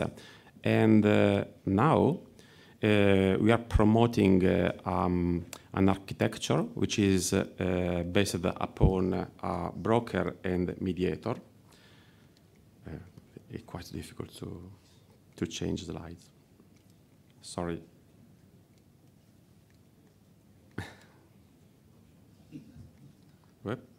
Okay. Okay, the, uh, so we changed this type of approach with uh, a, a, broker and uh, a mediator, which facilitates uh, what I described with uh, uh, the previous examples of data management and data dissemination. Very difficult. yeah, now. Well, I, I don't go uh, into the previous slide because it's quite difficult to change. Uh, the important thing is that uh, we are using the same techniques which uh, are useful to include our information into WIGOS and WIS. So it's a fully compliant WIGOS and WIS architecture. Um, so let's go ahead. Uh, thanks to this approach, we were able to uh, support uh, many national hydrological services in the world and uh, specific projects uh, such as ICOS uh, projects. And some of these demonstrations were transformed into operational systems. The case of the, SAVA in Europe is a, a valuable ex example, how now they are able to support the countries belonging to the SAVA and how to participate into European program. An important thing that don't think that you need to use a prototype to uh, publish your data because we are supporting national hydrological services uh, with some techniques such as web services, uh, which you can use in your own uh, architecture uh, thanks to some API, um, which are uh, application program interfaces. an additional development that we are trying to solve is the description of observations through uh, the WIGOS metadata uh, standard, which we would like to improve, including uh, hydrological features. And when we will complete this activity, we will be able to disseminate our information into OSCAR surface and uh, most important, uh, we can access this uh, metadata uh, through the web services and uh, we can select uh, um, the available information, so take into account what we are looking for, of course, take into account hydrological search. And we can support many hydrological applications, such as real-time forecasting system, which now most of them are using uh, standards such as uh, WaterML version 2, or uh, we can support model verification, model calibration, uh, reports, uh, so many uh, typical hydrological activities of national hydrological services. This is another case of disaster risk management, which can include hydrological information through the application of, uh, of standards. Where should we deploy this, uh, uh, this type of, of system? In the cloud. When I say the cloud, I say my PC, your PC, whatever you prefer. I'm not thinking of a specific vendor. But we have to apply uh, Eh, all the V's uh, which uh, are typical of the big data dimension and yesterday we discussed about them, so volume, variety, velocity, veracity, and visualization as well.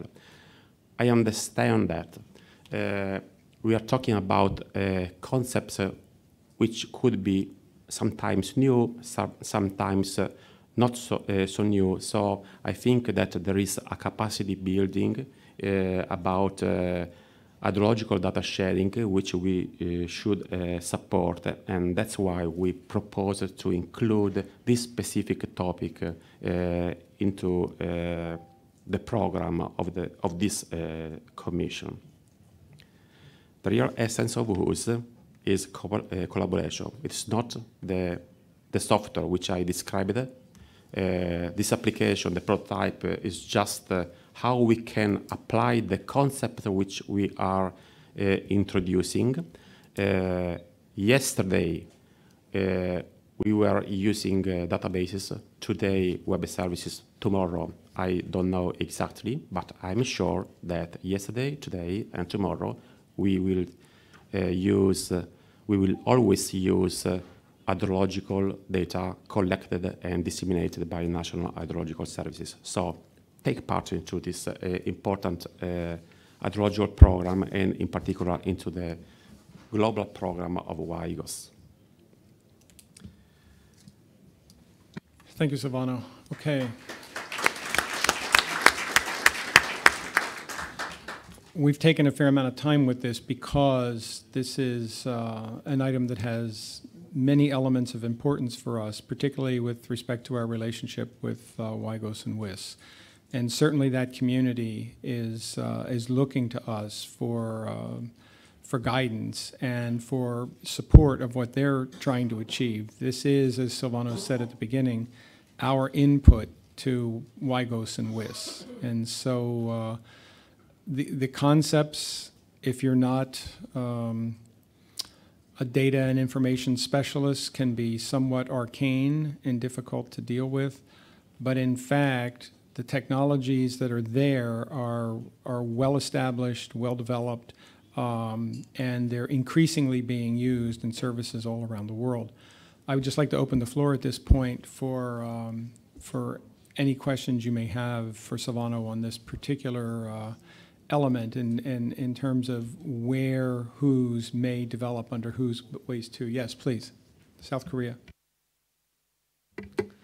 Thank you, Mr. President. Um, thank you very much for the detailed information about WHOS.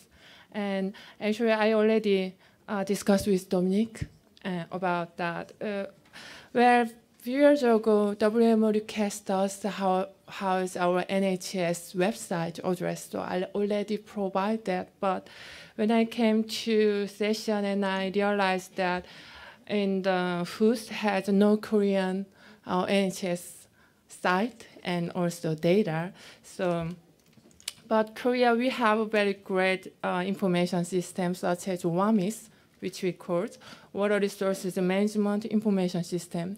We provide uh, data every 10 minutes for the public.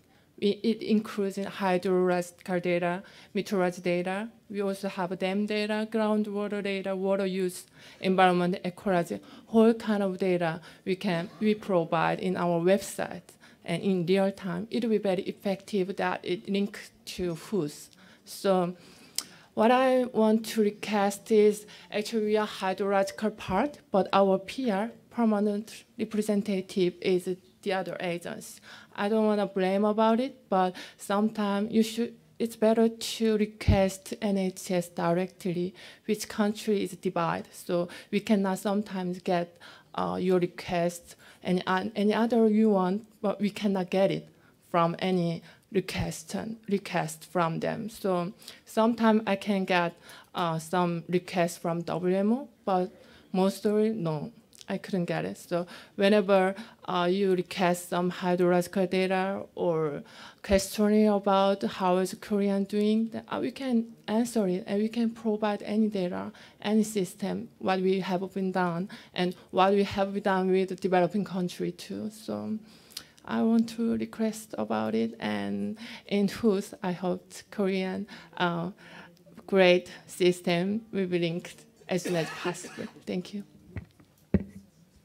Thank you for that because it, it's a clear indicator of, of, of a service that has everything in place right now to be just plugged right in. So that, that and it points to a critical problem that we have.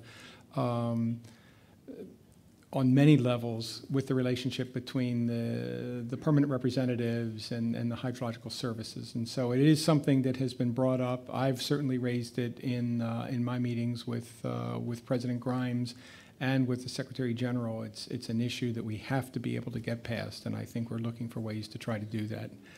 Russian Federation?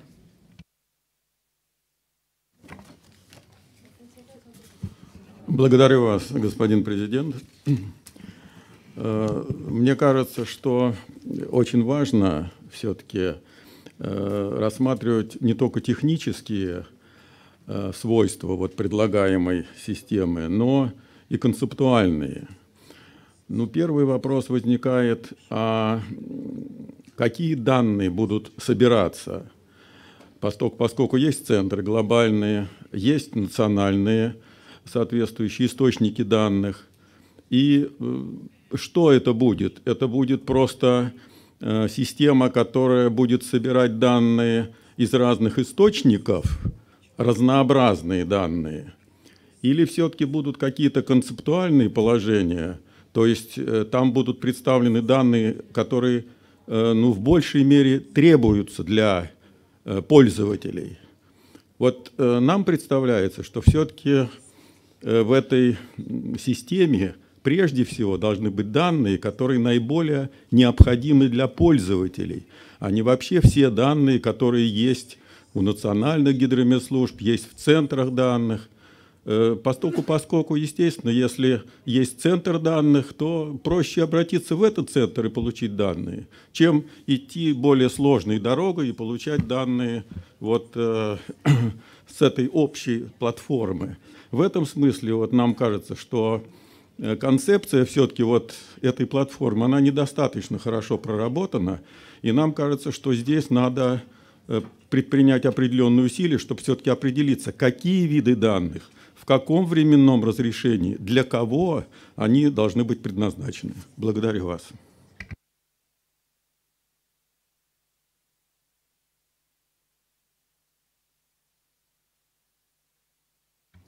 Okay.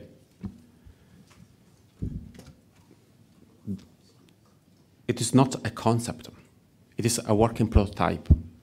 That means that uh, we uh, arranged a number of components uh, which are already uh, available and which can support all the services which I described. However, I didn't talk about uh, collection and archiving. I just uh, introduced uh, some techniques for data discovery and data access. Uh, that means that uh, uh, in the case of hydrological centers, uh, we can facilitate um, their activities um, to uh, discover the uh, available data, for instance, in your case about lakes. Um, and if you want to access this data and if you want to archive this data but uh, think that the original data providers are national hydrological services, and in the case of WIS and WIGOS, they are the principal uh, components of this uh, global um, uh, architecture. Um, so I think that we should uh, distinguish uh, what we can support and how we want to use this architecture for uh, our activities. I demonstrated that uh, we have a number of techniques and technologies we, uh, which can be used to discover data, access data, download data, use uh, standardized data formats and service types, or also non-standards, uh, take into account your specific needs. I think uh, it's different, the question about do we really want to archive additional data? Maybe uh, we don't need to uh, archive data, but uh, we need some cache of this uh, data to support uh, uh, analysis for specific purposes.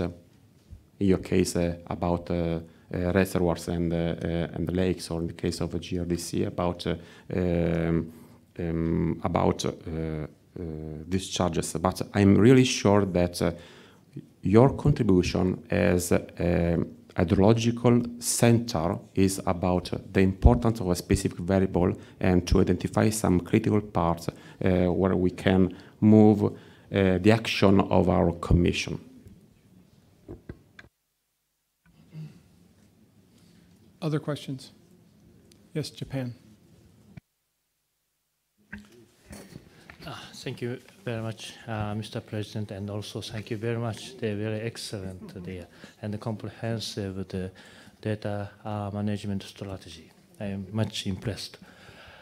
But uh, the, in the document of the uh, 4.1 bracket 3, the second uh, sentence, free and unrestricted access to hydrological data is not yet a general common practice. Why? As our Russian colleague mentioned, what is the merit of the, the uh, data exchange of the NH, National Hydrometeorological Services beyond the, uh, uh, their territory? In case of the uh, meteorological community, they identify the merit in 1950s to develop the general circulation model, they need the, to share the data.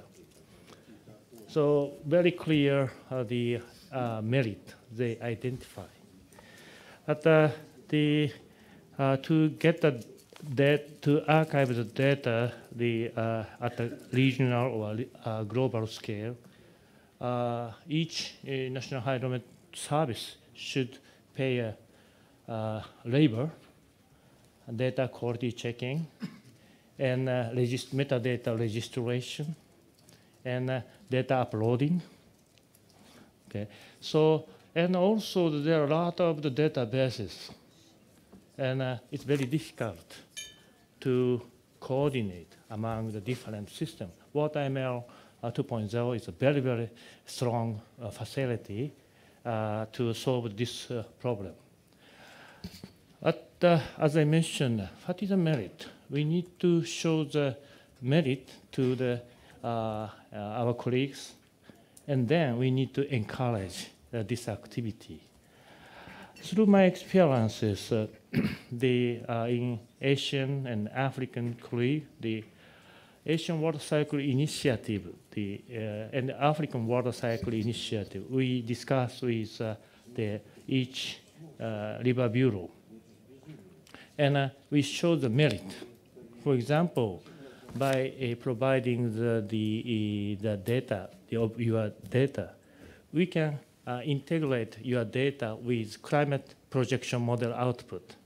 We archived uh, the CMIP3, uh, CMIP5, all of the data set. That, uh, the amount is 2.6 petabyte. But uh, by combining the, the each data and uh, climate projection model output, the each national hydrometeor service can get the bias collected and downscale uh, the climate model output. That is a merit. For this is just one example by showing or by demonstrating this kind of the merit through not only the data archive, but through the data integration, uh, the, we can uh, accelerate this uh, uh, activity. As I mentioned in the previous session, the integration of the, our data with agricultural purpose or uh, energy purpose, this is beyond the discipline. So this kind of the integration also they're very useful for accelerating this activity. Thank you very much. Thank you for that. I agree uh, completely with what you said. I think we are seeing a, a change. I think we're seeing a, a, movement now among many services to be more receptive to opening their, their data up uh, for discovery and for access. Uh, certainly, that's something that Silvano's been finding over the last several years as he's been working through this process. Um, it is true there are many nations that consider water resources data uh, a national security issue, and they don't like to share. But I think I think that's uh, I think that's an attitude that is beginning to change. Um, we've observed it in the past in some of these uh, interbasin studies that have been done, um, or large basins that have many nations um, within the catchment, and it, it, I think in recent years, the problems have been less severe than, than they were a long time ago. So I think we are making headway in, in getting past this. And, um, and I, but I agree that when people see what a capability like this is, can bring to the table, um, they become interested because they also understand the value of it for them, for their own internal um, evaluations and assessments and, and for their own economic development. So I, am I'm, I'm encouraged that, that, that this is moving forward. I think it's going to take time. I have no illusions about this. And I don't think we can, this is not something we can be prescriptive about. It's something that we have to encourage services um, in the sense of we have to demonstrate, as you point out, very clearly the advantages to them. And, uh, and I think that's part of what we're trying to do with phase two. Um, as I noted, these systems are there. In some cases, they're already mature. And uh, it's just a matter of being able to demonstrate to certain services that, that these are easy, relatively easy things for them to set up, even though what underpins them may be far more complicated. Um, so yeah, I'm, I'm, I'm encouraged, uh, but I have no illusions. I mean, I know this is not going to be easy. Other questions? Uh, please, you want to follow up? I provide an additional uh, information. Uh, there is another uh, feature of this prototype, which is about authentication. So we, we can uh, pro provide this type of mechanism for uh, data access and data discovery uh, between authenticated users with, with credentials. However, I don't use to illustrate this uh, specific uh, feature because I want to be in support of our resolution 1425 uh, for unrestricted uh, data available. Anyway, this uh, authentication mechanism exists. Okay, Geo, France, and then Canada. As, yeah, um, so Vanessa Allen from the Group on Earth Observation. I just want to do um, just I just want to add something. So um, this this kind of topic is uh, very known in, in Geo Group on Earth Observation because we try also um, to to have this kind of of big. Um, um, data platform. So we are creating this GEOSS platform. I don't know if you heard about that, but we are in, in collaboration with WMO and we already have this uh, WIS uh, within our platform. And I just want to underline the fact that we would be happy to, to have a discussion uh, with, with different partners just to reinforce our, our job, our work, and also the work that we are doing in, in, um, in, um, in WIS. So uh, I know that there is different discussion, and um, it, it could be very interesting also to to continue this discussion with Geo and, uh, and and WMO. So just be aware that we we have we are doing this kind of of link and research and effort on this. Thank you. Thank you for that, Franz. Merci, Monsieur le Président. Je, vais faire, euh, je voulais faire deux commentaires. euh, Un pour illustrer l'importance des échanges transfron- transfrontaliers. Donc, il se trouve que je suis assis à côté de mes voisins euh, allemands.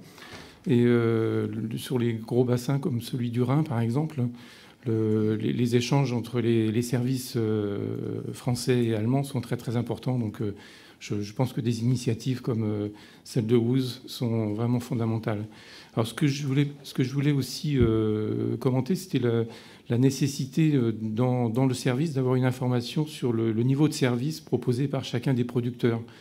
Il est important de savoir si vous avez signalé tout à l'heure que des services opérationnels avaient été branchés derrière, euh, ces, systèmes de production. Et donc, il est important de savoir quel est le, niveau de, service qui, est attendu et, euh, de quoi est capable le producteur. Est-ce qu'il est capable de fournir ces données avec une fiabilité de 99% ou est-ce que- est-ce qu'il est capable de les fournir euh, peut-être euh, 9 jours sur 10, etc. Donc, c'est ce genre de choses qui est important à connaître pour pouvoir mettre en place un service opérationnel. Merci.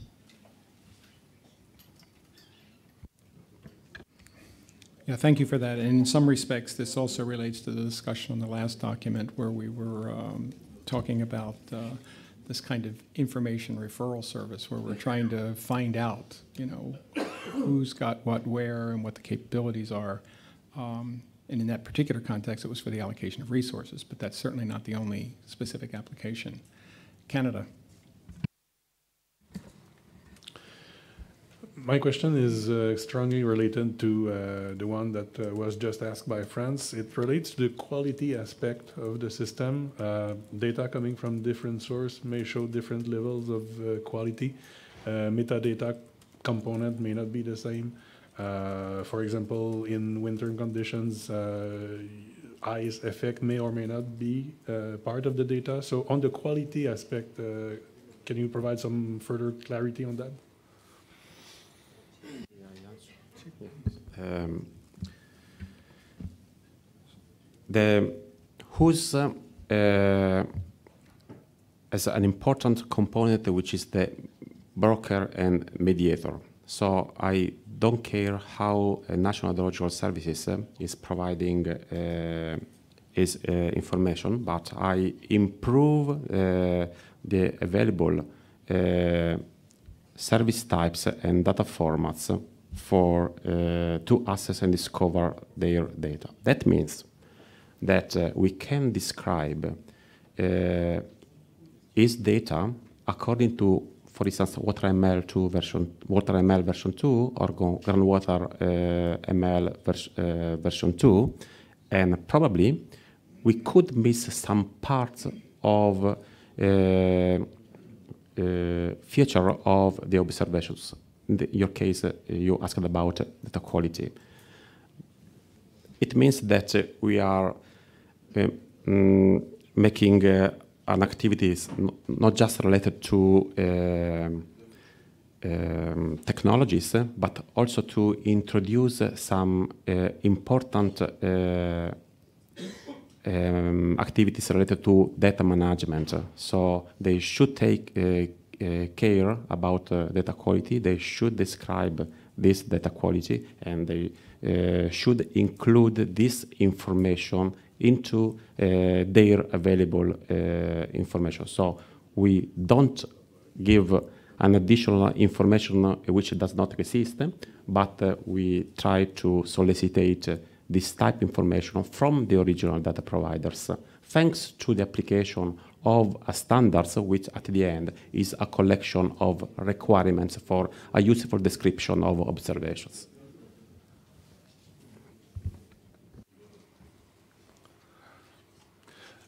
Thank you, Silvano, for that explanation. Would you uh, recommend that it's a condition to uh, to be part of WHOS to provide that assessment of the quality as well? From, from my side, for uh, for sure, um, I think that uh, together with the group belonging to uh, the quality management framework, we should try to identify a good strategy to improve the results of one group into the other group related to uh, the technologies uh, which is supporting WHOS. Okay? But in the final analysis, services have to decide uh, their level of commitment in that regard. And, you know, we can't be prescriptive. I mean, we, we ask them to follow the, the, the tech regs and the guides, um, but in the end, they're going to do what they do. And so uh, it's a matter of encouraging, and it's, it's, it's again, trying to adapt a, a culture of compliance and getting people to come to the realization that this serves their benefit and their purposes uh, by, by doing so. So it's, it, it's this incremental process that we're looking to, but embedded within what we're trying to do here in this initiative, um, the inducements to go this route are, are, we hope will be there for them to do so. Romania, please. Thank you very much. Uh, firstly, I would like to, to congr congratulate our colleagues for uh, this uh, work uh, that um, uh, have uh, an actual topic. I have two questions. First is related to Inspire Directive. we know that Europe developed uh, this directive that uh, I think it's uh, one of the biggest uh, standard on data and not only data, also the, the communication services between uh, different countries.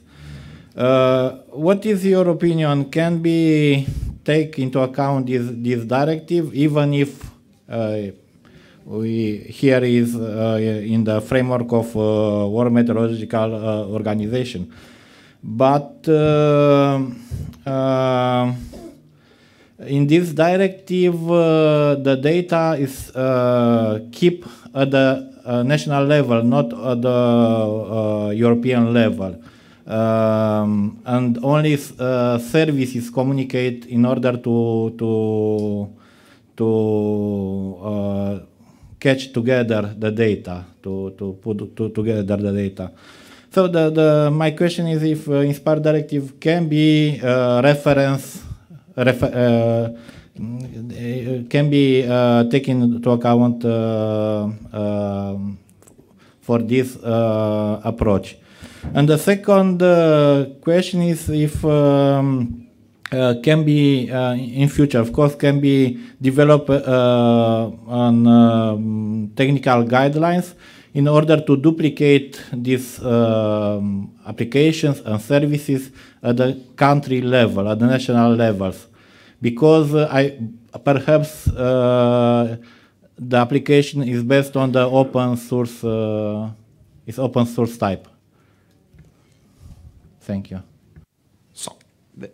The, answer is yes. We can uh, apply whatever we uh, prefer. I say that we can uh, translate, mediate uh, the information according to uh, standardized format or non-standardized format. So if uh, we think that national hydrological services should be supported by a specific format or a service type, we can we can include it.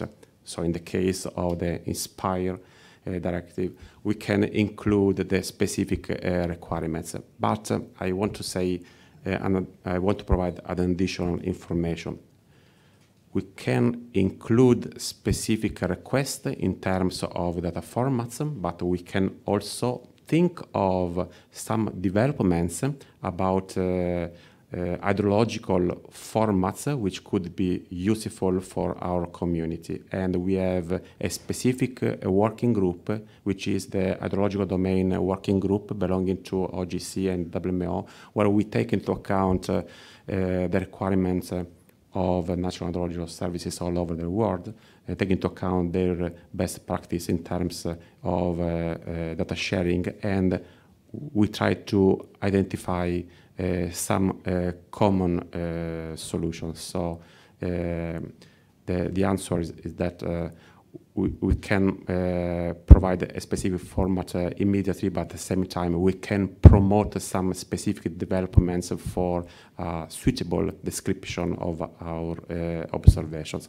Let, I, I, want to remark again, I'm saying translating and mediating because the uh, the dat data owner is the National Hydrological Services. We are not collecting anything, uh, but we are just uh, supporting and facilitating uh, hydrological applications uh, thanks to your hydrologi hydrological data.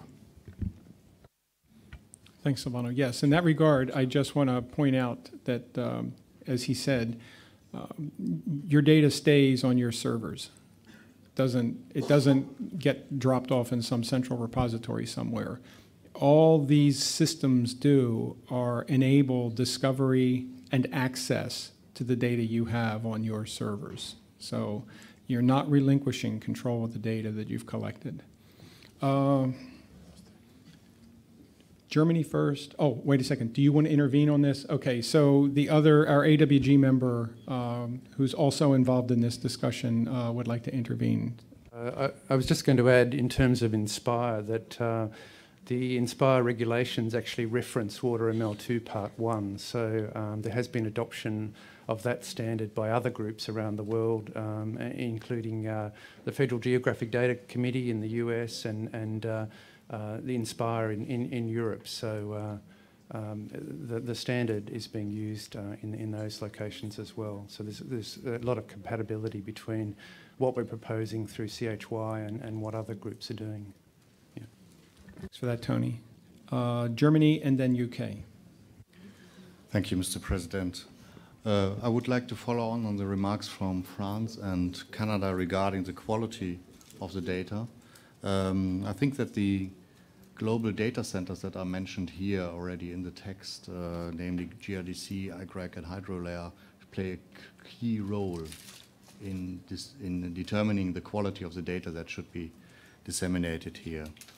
I would secondly like to mention that um, if the Commission regards rain as an important parameter that I, I, could offer as the head of the Global Precipitation Climatology Center, uh, a similar service as is uh, expected here with regard to the text. So uh, I would like to ask for Germany that the GPCC is mentioned in an equivalent manner in the text. The third is um, coming back to the quality. I think that uh, from the user perspective, there are archetype requirements. Uh, the one is the timeliness uh, of data, another is the quality of data, and these are obviously competing requirements, but we would like to solve them both. So I could imagine that the categorization of the data in, with regard to archetype requirements from the user perspective could be very helpful. And the fourth point is uh, we already mentioned data integration as the ultimate goal. And so I think in, in the long term, a consideration of gridded products that are easily, much more easily to integrate against what the colleague of Japan mentioned with regard to modeling results uh, should be also considered for the, for, as a long-term goal. Thank you. Thank you for those points. UK? Thank you, Mr. President. First of all, just to congratulate the team on the progress so far, which is truly impressive in, in uh, our opinion.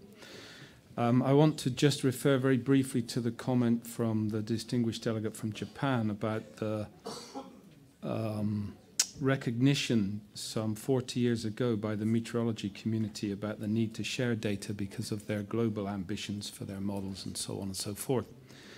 And I would like to then um, raise an advertisement for the discussion tomorrow, if I may, around the pilot WMO Global Hydrological Status and Outlook System.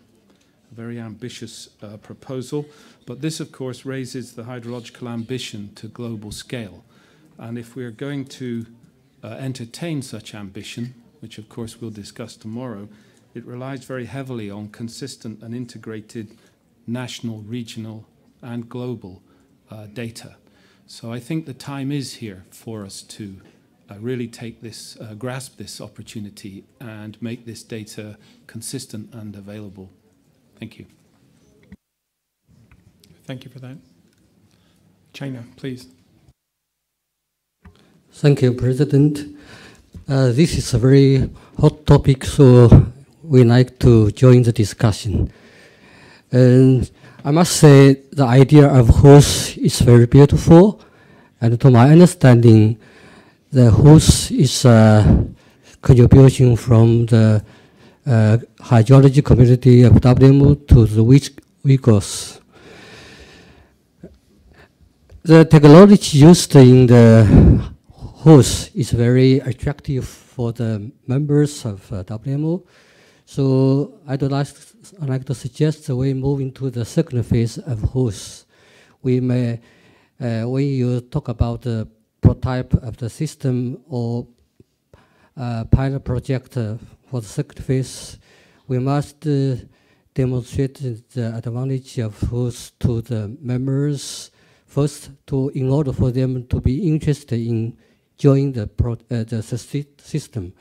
So may I suggest when developing the prototype system, we may invite members to test the WHOS idea within the members because this is very attractive for using the new technology for data transformation sharing among different agents, among different pro data providers. So it's very, very attractive. The problem, to my understanding, maybe is data sharing among different countries or at the regional or global uh, scales. So, uh, so, uh, so just some comments. The number one is uh, when we uh, move the WHOS to the second phase, we must consider data policy, the data sharing issues. So, in other words, we should respect the national data policy of the members of WMO. Uh, this is what I. Uh, also, we need to follow the resolution of on the data sharing uh, among the members, which was uh, adopted by the Congress. So I like to address this point. The second one, we must uh, demonstration the or when when we, in the second phase, we must uh, demonstrate to the members the use, use the purpose of the data because uh, take uh, China example, we have already developed a system of uh, data provision to the public, so the WHOS can you know extract the data from the, the, the, the also Chinese system to make it available to the public, to the other you know to the uh, countries. But we like to know where the data goes to. Goes to where? Because for us, maybe for the disaster, uh, for disaster mitigation purpose, it's uh, no problem because we have a common goals for saving the people or for the you know uh, redu reduction of the property you know, uh, notice. It's, so within the whole system, I suggest maybe in, in your system you need to provide a tour or something like that to let the data provider know where the data goes or the, the purpose of the data, you know, within the, the system. The last one, as uh, the other uh, members uh, raised, this is the data quality. Because uh, I, I, I, we have the experience when the data provides, uh, because they're more concerned about the, the data used for decision maker. Is very important. But uh, when it comes to the other purpose, maybe the, the data quality sometimes is not always guaranteed. So I do suggest within the whole system, we need all the type of system, we, may, we need to consider data quality guarantee.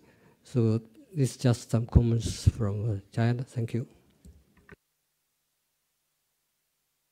Yes, sure. So uh, thanks for uh, your comment. For sure, in uh, the next four years, we will take into account all these requirements and requests and constraints, and uh, we will try to uh, apply uh, the available technologies and tools in a suitable way for all the national hydrological services. Thank you for that, China, because that was a, it was a good insight. Costa Rica.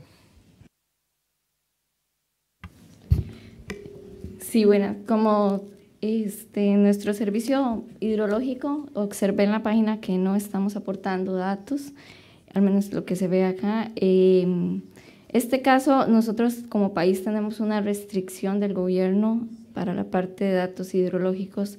Eh, fueron declarados como datos estratégicos para la producción de energía del país. Y la mayor parte de la energía del país es hidroeléctrica. Sin embargo, compartimos la información con el Servicio Meteorológico para la previsión de alertas y a través de esto podríamos entonces eh, buscar algunos datos que sí serían eh, posible compartirlos. Nos llevamos como tarea el leer un poco más sobre los sistemas, tanto WICOS como el SOHO, para entender en qué porción le podríamos aportar los datos y si necesitamos más información que podría ser eh, buscando bueno, en la página o tal vez hacerla llegar al representante permanente sobre eh, precisamente lo que comentaban los demás compañeros, eh, hacia dónde van los datos, quiénes son los usuarios de estos datos, este, para entender qué datos podríamos proporcionar. Gracias.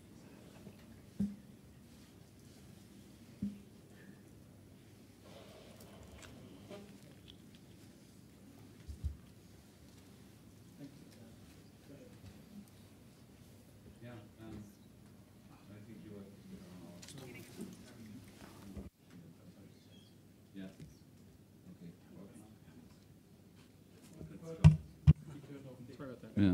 Okay. Thanks. Everything looks in sequence. yeah, yeah, yeah. We're we are not yet in parallel mode. No, no. And we are all male up here, so we can't multitask. Now, uh, there's one thing I want to remind you of, and it and it has to do with the text that you should approve. So, in uh, all what you say is apparently very important for your daily operations, for your services, for your raison d'être back at home. But if you read the text of what is proposed to be approved, it says also that you task the Secretariat to develop an initial implementation plan covering all those aspects that we have discussed now. So I think for us it is very important that you give us this input. And I would like to ask you to please continue with us in this discussion, but I don't think that we can bring this discussion to an end or to an end purpose or so today here in this in this uh, format. So uh, thanks for all your input, but um, be aware that this is actually at the moment under implementation and that we need your help to do that right in the future. And I want to make one other, maybe a bit personal comment on that. Uh, I work in WMO a lot also uh, at the interface between climate and water. And I believe that uh, it is, if you look at it from a little bit a higher level and from a little bit a more historic, more grave perspective, we have no choice but sharing data. It is very short-sighted to think that we can speculate on climatic situations to be favorable for countries' situations in future. And there are also today only a handful of countries that are not island states like Switzerland or Bhutan or Nepal or Bolivia that are only water exporters. So really the situation is already there and, and I don't think that we have a lot of alternative than sharing our, our knowledge. And this is to, to optimize a benefit that we can have and then we can share that benefit. And it is also to deliver our part that has to do with understanding the climate and understanding the impacts of climate on water. Because as we have heard yesterday a couple of times, all this climate debate is on the energy, the carbon, and the water cycle, and, and we can only provide good information on the water cycle if we share those data. So I think uh, we should not really try to speculate on future generations, but we we should try to get things right now. And you are the key players in this in this call. But uh, maybe Harry, you want to.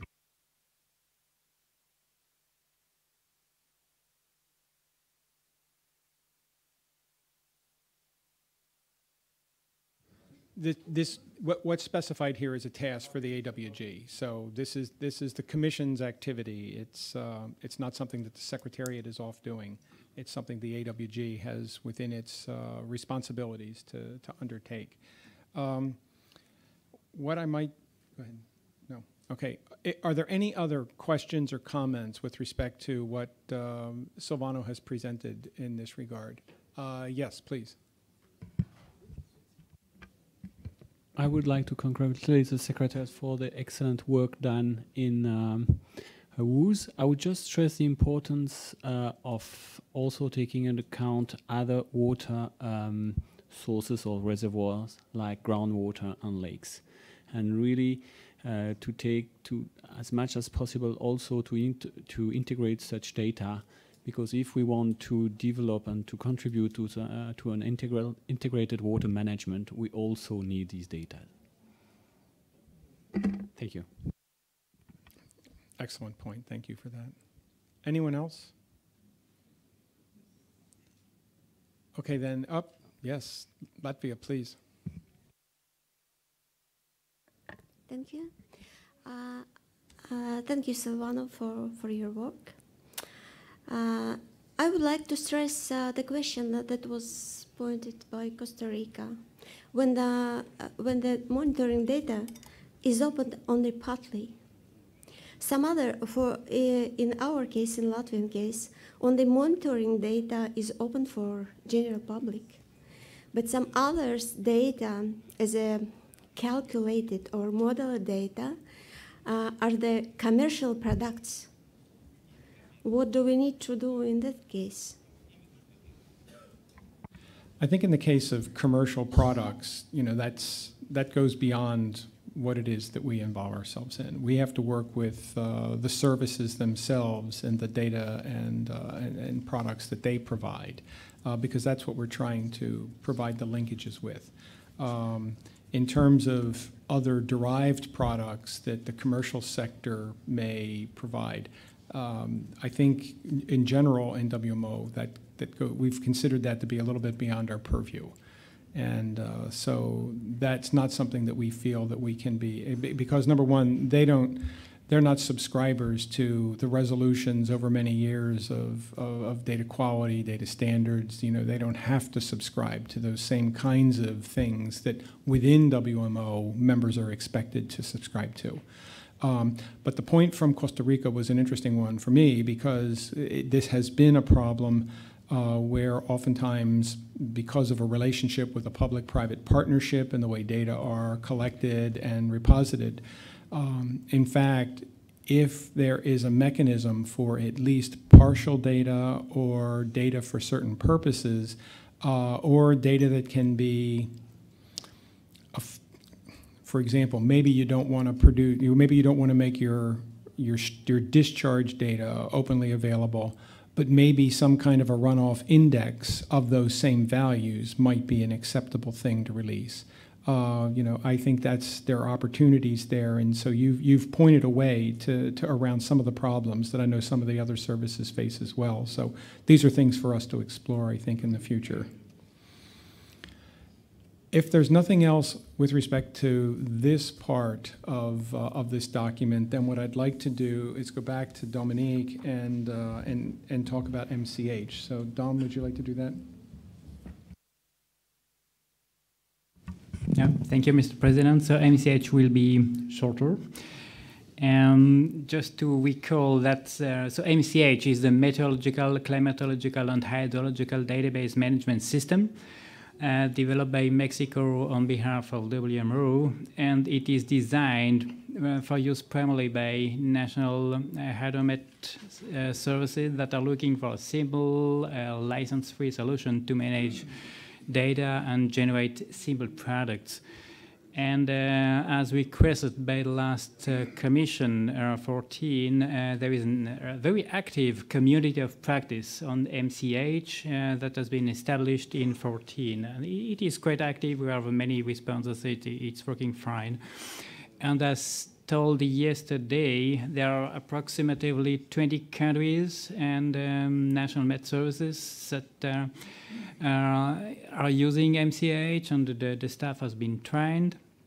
And uh, we are now considering five additional countries uh, as of December 16 and we are considering new developments, uh, among others, the finalizations of the gauging and weighting curve component, to update it and to include a user manual, uh, to connect uh, the database with an uncertainty analysis tool for gauging. Uh, it uh, should be the French system called Baratin and uh, completion of the full standing user manual. And we are considering um, also new developments uh, to come, as well as possible collaboration with other existing systems, such as the one of Japan or New Zealand.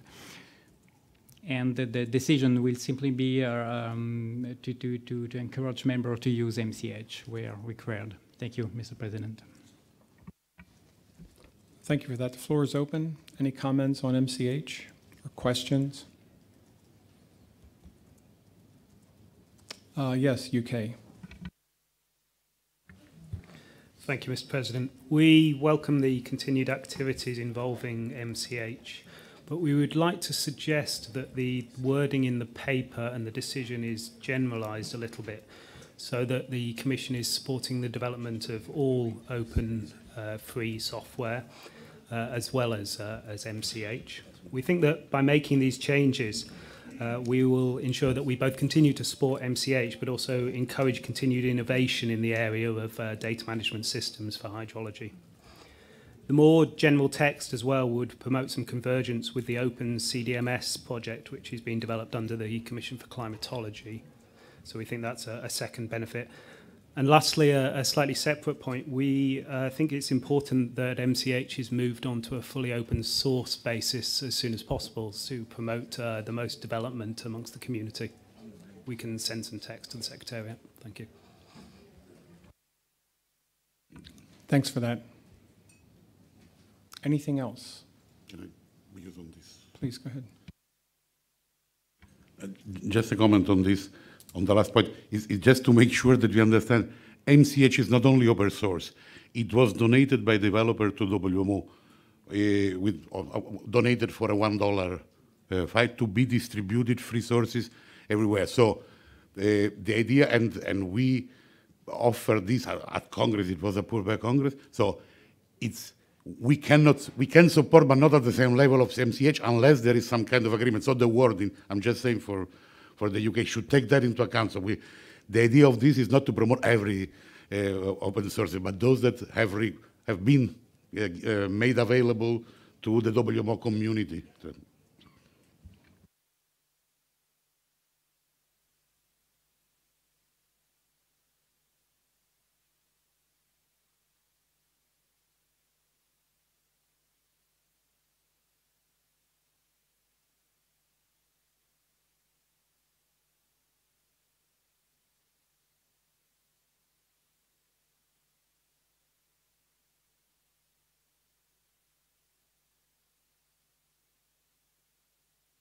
Okay, so we're ready to move on. We're going to go on to uh, the third item in this uh, document, which is uh, WaterML2.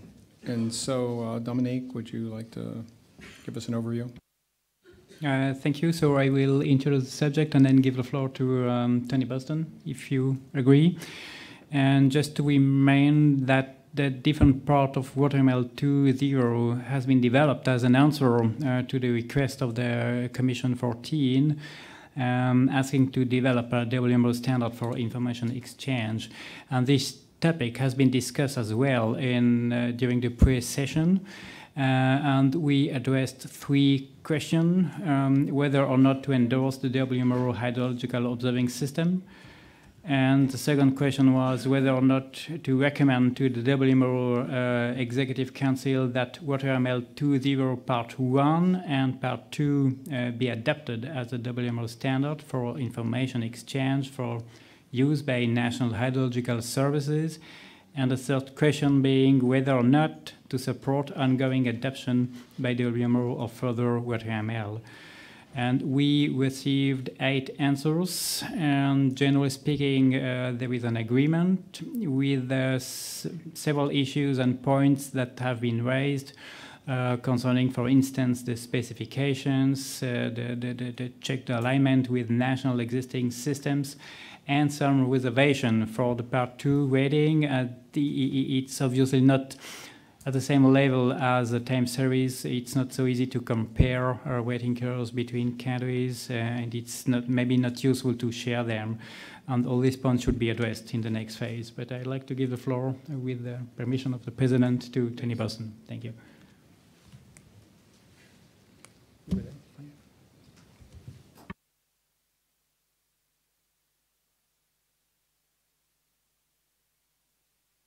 Uh, thank you, Mr. Pres President. Uh, I just would add that um, the uh, WMO OGC Hydrodomain Working Group uh, was established in 2009, and, and it's a, a, joint working group of, of WMO and OGC. Um, and it's been developing standards since then. These processes take a long time. Um, and uh, at the, to date, we've two, two standards have been published, WaterML Part 2, WaterML 2 Part 1, time series observations, and WaterML 2 Part 2, which deals with ratings, gaugings, and sections data.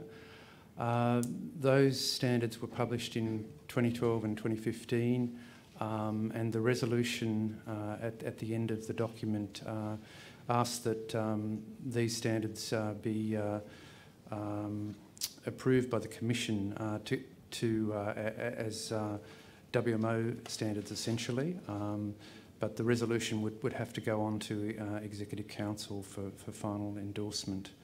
Um, I, I, think it's very important that, that the Commission uh, approves this um, because these standards are fundamental to the way uh, WHOS, for example, would, would, would operate.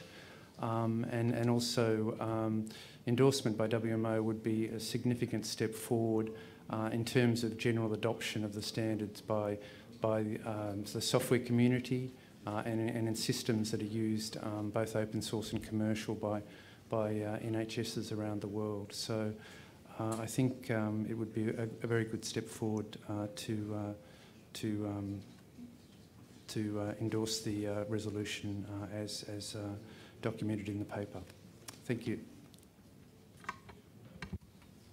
Thanks, Tony. Okay, the floor is open. Um, go.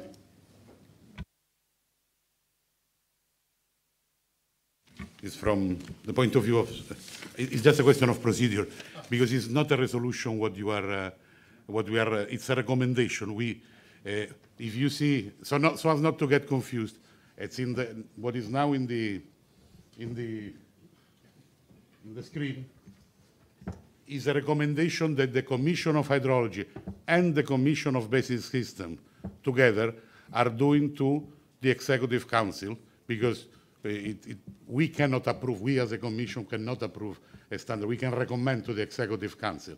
So uh, as, because of the timing of the two commissions, as you know, the Commission of Basic System just was held uh, two weeks ago in China. Uh, they approved without change the exact recommendation subject to the approval or to the, I, I, if you go down, because I don't remember exactly the word in. Go down. Okay. Okay, here, here, here, here. Uh, they, they just said, and this is in, the Commission of Basic Systems said we approve subject. Uh, it, it is in the background document. You can read it. Subject to the concurrence, I think it was the word, of the uh, Commission of Hydrology. In the case of the Commission of Hydrology, so the annex is the same, the recommendation, but the, the resolution you see there, this is the decision you have to take where it says concurs with the recommendation of CBS to adopt the draft resolution, etc. There is a small typo in English. We have solved it in the other languages. This, with the following modification, this part should be here, with the following modification. And this is a separate, uh, uh, thank you. The, the, with the following modification should go here, okay? And this, para, this other parenthesis should start here.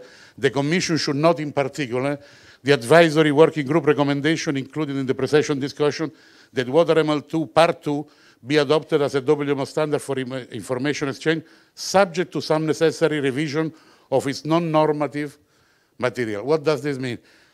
Part one was tested successfully, as Silvano explained before, in the La Plata River Basin, in Sava, etc., etc.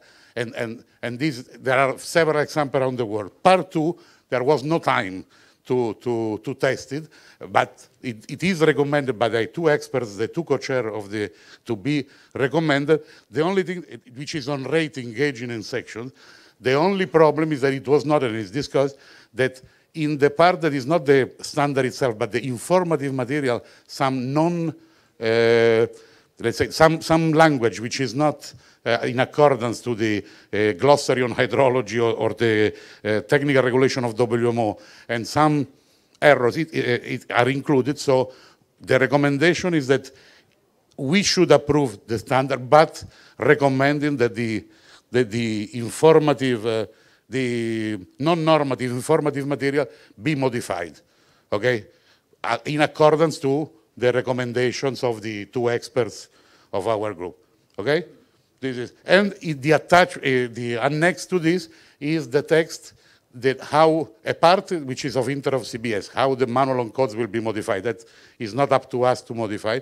But then there is the second part, which is in color in green to show the errors in the document, which shows the proposed changes to the guide to hydrological practice on this. This is just to explain that it, we cannot adopt, we can recommend to adopt. Okay? This is dangerous. You leave it to me. Okay, with that perspective, uh, the floor is now open.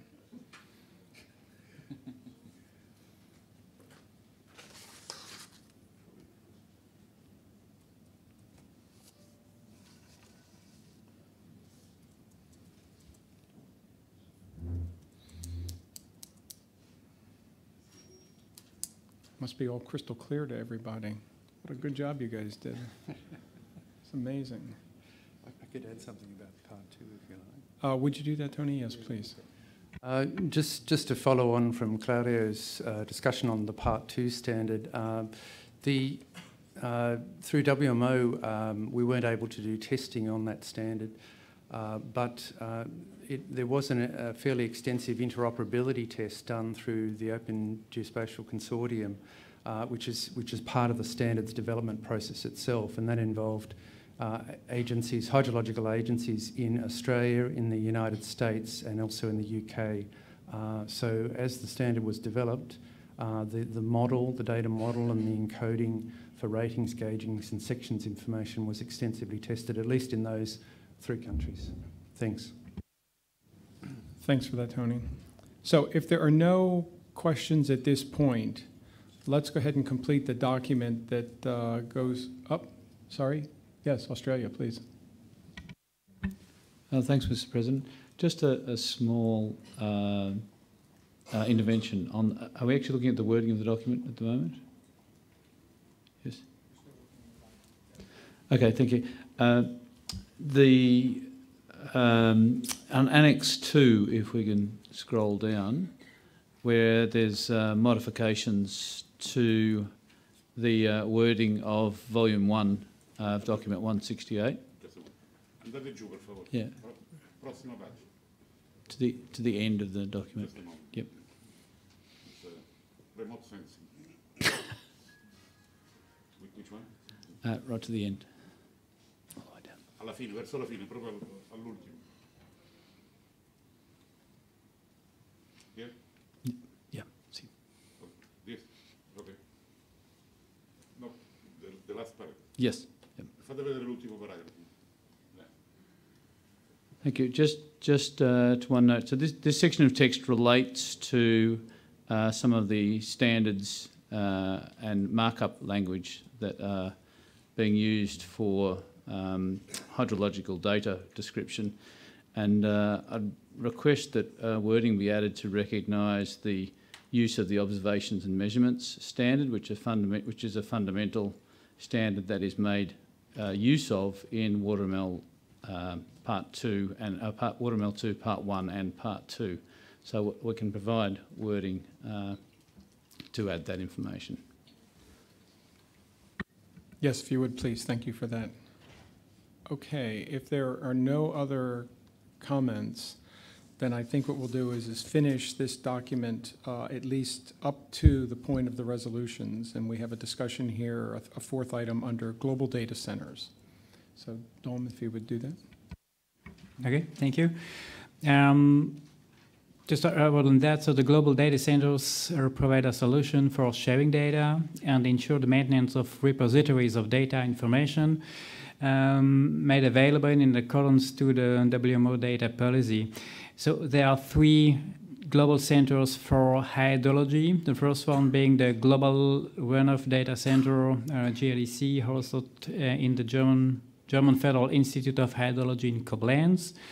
And the second one is the International Groundwater Resources Assessment Center, IGRAC, uh, hosted in UNESCO IHE in Delft in the Netherlands. And the third being the International Data Center on Hydrology of Lake and Reservoir, HYDROLARE, uh, hosted in the State Hydrological Institute in St. Petersburg in the Russian Federation. And the point to be discussed here is that um, the Congress 17 last year uh, asked to report to the Executive Council with regard to the role of these data centers and their contributions to WMO. And a task team should be established to specify these roles uh, of centers and to help clarifying the roles uh, between um, the data centers, WHOS, and the GHSF. Thank you, Mr. President. Thank you. Floor is open.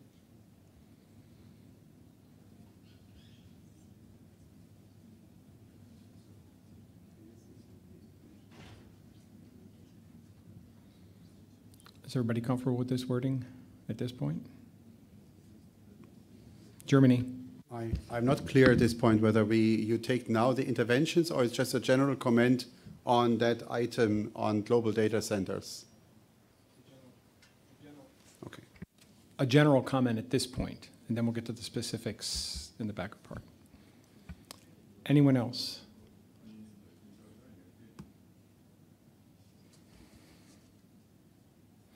Okay, then I suggest we uh, start moving through the resolutions. Okay, so we can, uh, we can get the resolution up on the screen. Yeah, if we can get the resolution up on the screen.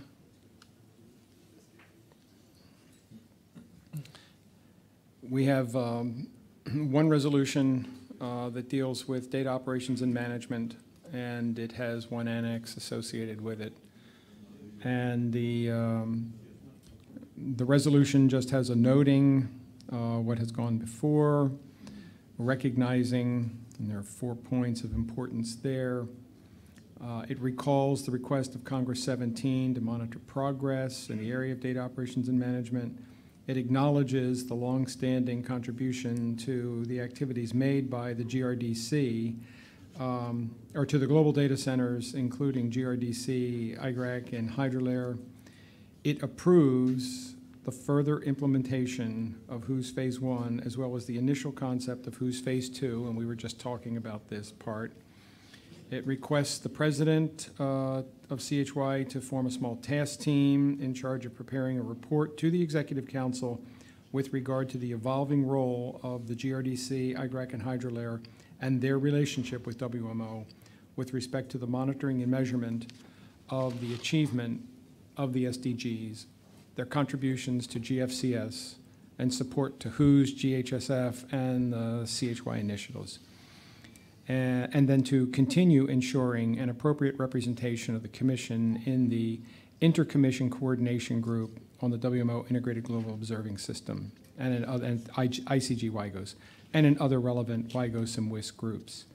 It also requests the AWG to prepare a new version of the observational requirements and the statement of guidance for the application area hydrology, taking into consideration the implementation plan of WHOS Phase 2 to be presented to the IPET OSDE um, and this is one of these inter-program groups, and run by uh, CBS in the second half of 2017. It also requests the Secretary General to continue supporting the development of MCH. Uh, according to user requirements, it invites members to contribute to the global data centers in accordance with the recommendation of the report of EC, invites members hosting global data centers to continue to provide sufficient resources to ensure their long-term operation and service delivery capacity. Further invites members to consider MCH as a possible data management tool for their data operations. So this is, uh, this is the draft resolution that's under consideration. Um, so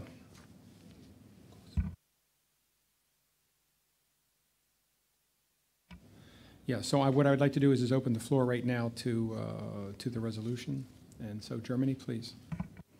Yeah, just a point before, so far you had taken general comments um, on the concept and everything, but not specific recommendations with regard to amendments to the text. Um, so I would like to just uh, walk through the document with a few minor comments. Um, uh, in every item where the three data centers which are in the document are mentioned, namely the GRDC, IGRAC, and HYDROLARE, we propose that the GPCC is also taken care of, the Global Precipitation Climatology Center, as was shown in the uh, initial um, as was shown in the initial presentation. Uh, rainfall is a major issue uh, when we go to hydrology forecasting. So we propose that in every mentioning of the three data centers to include GPCC also, and uh, we provide um, those amendments further on. Then under item 4.1 bracket 3.4, uh, you may consider to replace the uh, term cyber infrastructure with something that could be understood by non-specialists. That's a minor thing. And uh, then in the third sentence, in the same paragraph that starts, in particular, WHOS will support, and then the new text would read, in close cooperation with GRDC and other relevant global data centers, storage of hydrological data, and so on and so on. And the following paragraph, 4.1 bracket 3.5, um, the second sentence would start, NHSs as original data providers are the principal locations for storing hydrological data. That amendment made because um, the term data providers can have different meanings. So therefore, in this case, it's the National Hydrological Services.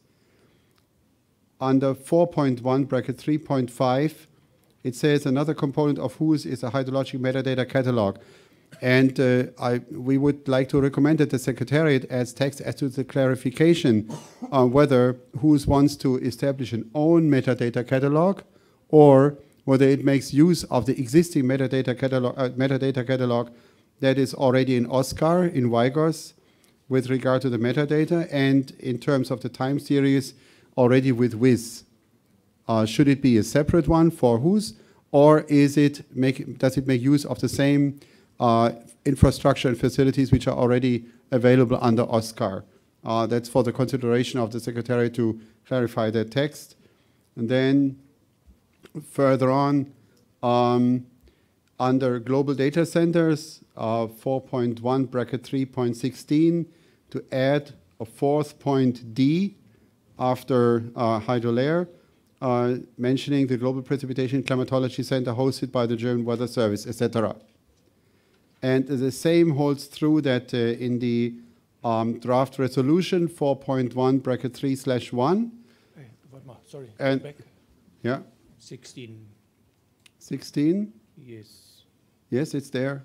yes, yes, Un, under the auspices of WMO. Oh yeah, there's, there's, a mistake, there's a mistake because it says uh, the Commission expressed its gratitude to Germany, the Netherlands, and the Russian Federation for hosting the four global data centers under the auspices of WMO. Because when we uh, say that, we say under the auspices of WMO and not under the auspices of CHY um, in, in general parlor so far. And uh, that's basically it. Under acknowledgement, acknowledging, uh, and under requests in the same resolution, it's also to add GPCC after the mentioning of the other three data centers. And that ends the intervention. Thanks, Germany. Uh, let me just clarify a few things here. Um, first off, GRDC, IGRAC, and HYDROLARE operate under the auspices of CHY. GPCC operates under the auspices of CCL, if I'm not mistaken. And so I want to make sure that we draw a clear distinction here between, you know, which commission has uh, a, a dominant responsibility. I have no problem with, you know, some, some wording that, um, that encourages the, the relationship with GPCC and the importance of what it's doing, but it does operate under the auspices of CCL, if I'm not mistaken, and therefore it's not something that's, that we in CHY have the same relationship with. Just a point of clarification. I just want to mention that while um, that is true internally, for the uh, when we advertise the data centers, whether it's the whether it's IGRAC, HYDROLARE, or GRDC, uh, we say in a general framework to be understood by the outside, the outsiders of WMO, to say under the auspices of WMO. If you break it down, then which commission is responsible? Uh, full agreement. But to the outside advertisement, it would uh, be confusing to explain what is CCL and what is WMO to somebody who is not initiated into this. So therefore, we had chosen all our advertisement materials WMO, while what you say with regard to the governance, it's the commissions, yes. Okay, fine. With that clarification, I, you have something? Yeah, yeah, please. Um, in your um, comment on the paragraph number five, if we take into account that we are also dealing with groundwater data and so forth, is it wise to explicitly say the National Hydrological Services, or are we not then excluding all those services, geological services, other people who host data that might be very important for our context? And I, I was just wondering if you have considered that before you tried to propose the change here. You made a valid point. Um, we came from the perspective of saying that the word data provider is uh, used um, without um, further specification of what we wanted to say is uh, with regard to the uh, hydrology data, it's the NHSs as original data providers. Of course, the NHSs are not usually not the providers of hydrological data and also not the providers of um, uh, lake uh, data. That's fragmented. So I see that point, and uh, we need to find a, something around this uh, while saying the, or we just say the original data providers in this case, and not saying NHSs if this is acceptable to you. You'll provide, you'll provide text, Wolfgang? Yeah, yeah. Uh, sorry, you, you have, Not Australia. I'm, I'm moving all over. The is, is, no, as a secretariat. It's just, I mean, I understand the point, and I agree with, with Germany that it's better to speak of uh, under the auspices of WMO than under auspices. But we have a we have to find a, a way of accommodating that, the, especially in the resolution. The the I don't remember if it's a recommend the the the review, the discussion of the review. This comes from an instruction of Congress, and the instruction of Congress was related to only the three uh, centers that were mentioned, not to the GPCC. So I, I just a suggestion. What we could do is do that and add, and in, the Commission can encourage or recommend CCL to undertake or something like that to consider ways of include if that's your interest also GPCC because basically, basically we cannot go beyond what Congress has asked us to do in the in the so I'm just saying that's the only reason why we should find the we, will discuss if you want how we can put a word in that it's accommodating to both things okay Any other comments? Czech Republic, please. Thank you, Mr. Chair. Uh, one small comment. Uh, when it goes to recognizing tree, we would, uh, in, a, in a resolution, draft resolution, we would prefer the uh, use the correct name of meteorological, climatological, and hydrological database management system instead of abbreviation directly in the, in the resolution because it's, well, it's mentioned before in the, in the draft text, but uh, in the resolution we would, pre we would prefer to keep it there. And maybe one thing that if you if you look at the proposed activities or requested activities, uh, they are all intended or, or targeting uh, the further processes within other WMO structures than the Commission for Hydrology. So it provides input to EC, it provides input to Intercommission WIGOS, there there is no feedback back to National Hydrological Services.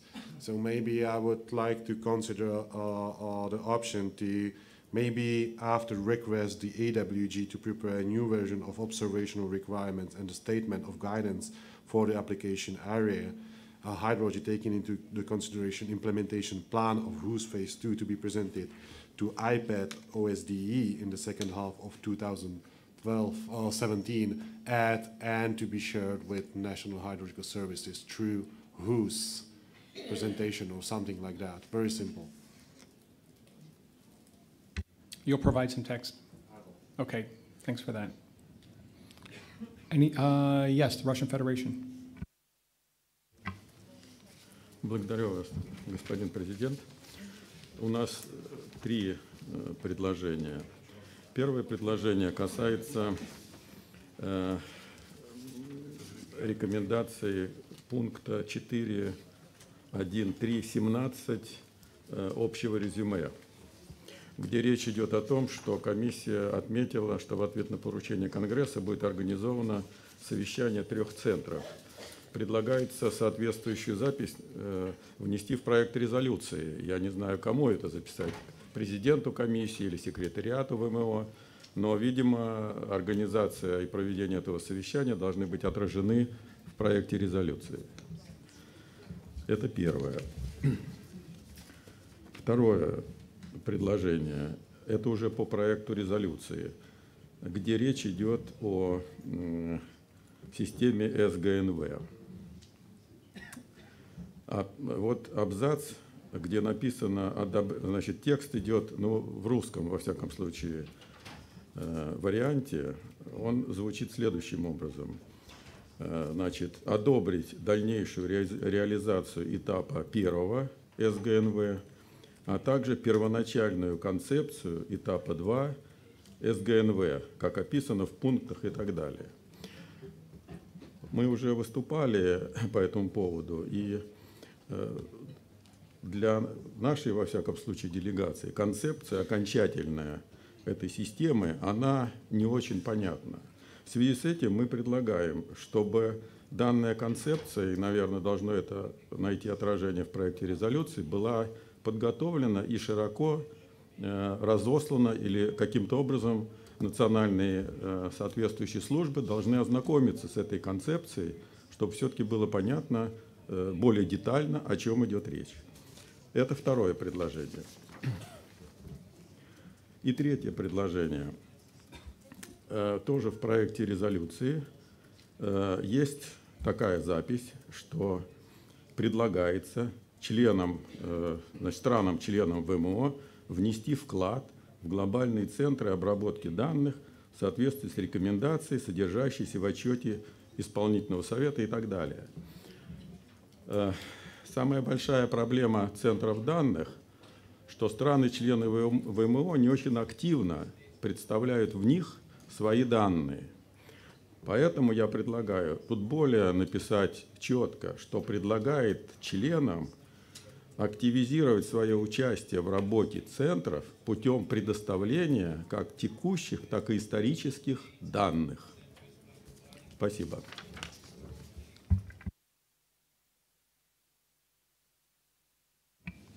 Thank you for that. Other comments?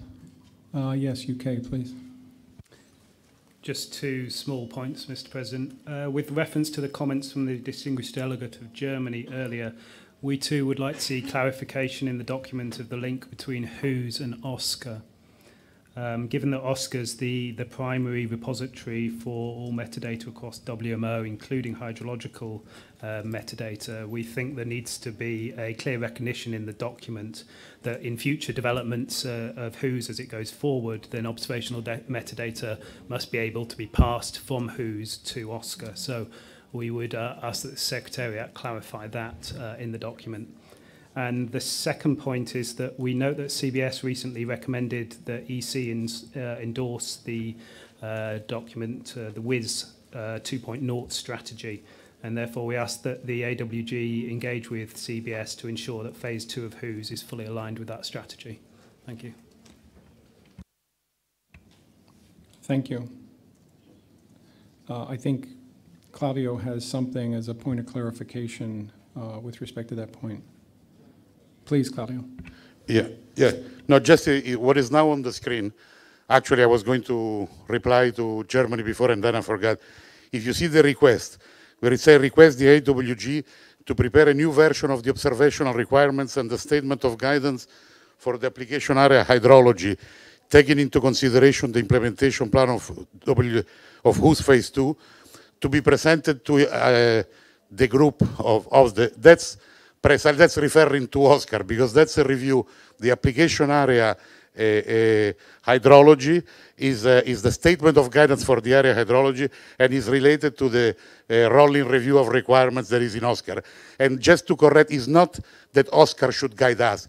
OSCAR has made clear that we, this commission is the maximum authority, should guide them in what are the needs, the requirements. And the reason why it is stated like that is that because WHOS phase two is not yet decided, which because we, we, we will have to work, whatever the, those requirements will be redefined on, on the basis of the of the work of the advisory working group of WHOS phase two. So that part at the beginning of the document there is a link to that report of the IPET.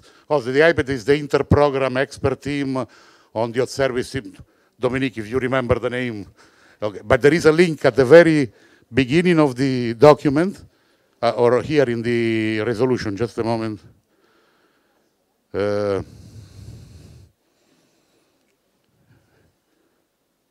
here, the final report is the not in three. It has a, the final report of the second session of the inter-program expert team on observing system design and evolution. That's precisely the part, if you go, uh, I mean, on the viewer, you can, if you click on the, on the link, that brings you, and, and you can go in details where there is the, the presentation and the commitment from the Commission of Hydrology of providing a revised statement of guidance and a revised uh, uh, requirements on the basis of what the WHOS expert group will do.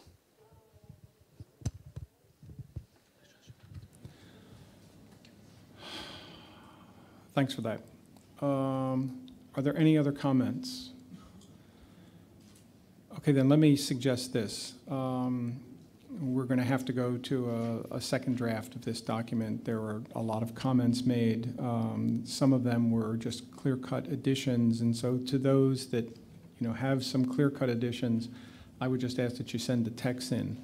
Uh, but in addition to that, what I'd like to propose is that um, Germany and the Russian Federation uh, meet with the Secretariat tomorrow morning, perhaps at 8 o'clock, and we can decide on a location um, to work through uh, some discussion of these broader textual things that go beyond just a simple uh, change in wording. Uh, And so uh, I would propose doing that at 8 o'clock tomorrow morning and follow up after the session ends with, uh, with Dominique and Claudio to, to select a location. If there's nothing else at this point, we're pretty close to the end of our day. It is 5:30. What I would like to suggest then is that we adjourn for the day, uh, and then there's a couple of points of business. Did we consider the second data representations for hydrological? We're not going to have time to do it. Right. Do you, hold on.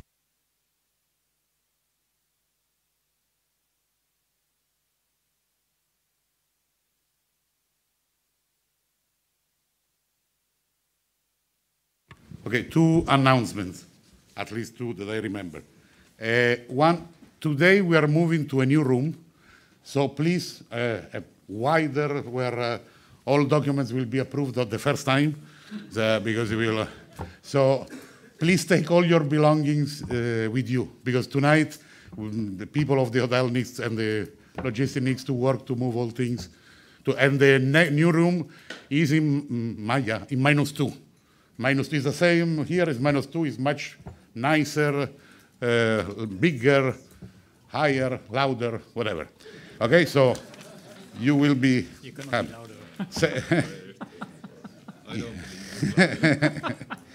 Okay, Se- second thing is that uh, we had completely forgotten, but our hosts have uh, reminded us of the group photo, and we would like to do that while you are still all nice and, and friendly. So tomorrow, we are thinking that the best time uh, is everybody listen to this because even even Korea should listen to this because especially Korea, in, uh, because you are uh, you you will improve the picture if you tomorrow at the end of the morning session before lunch.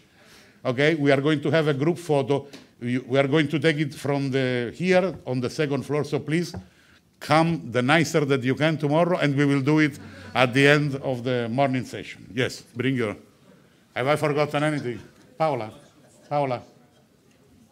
Have I forgotten? Okay. Thanks for that. Have a good evening. We'll see you tomorrow morning.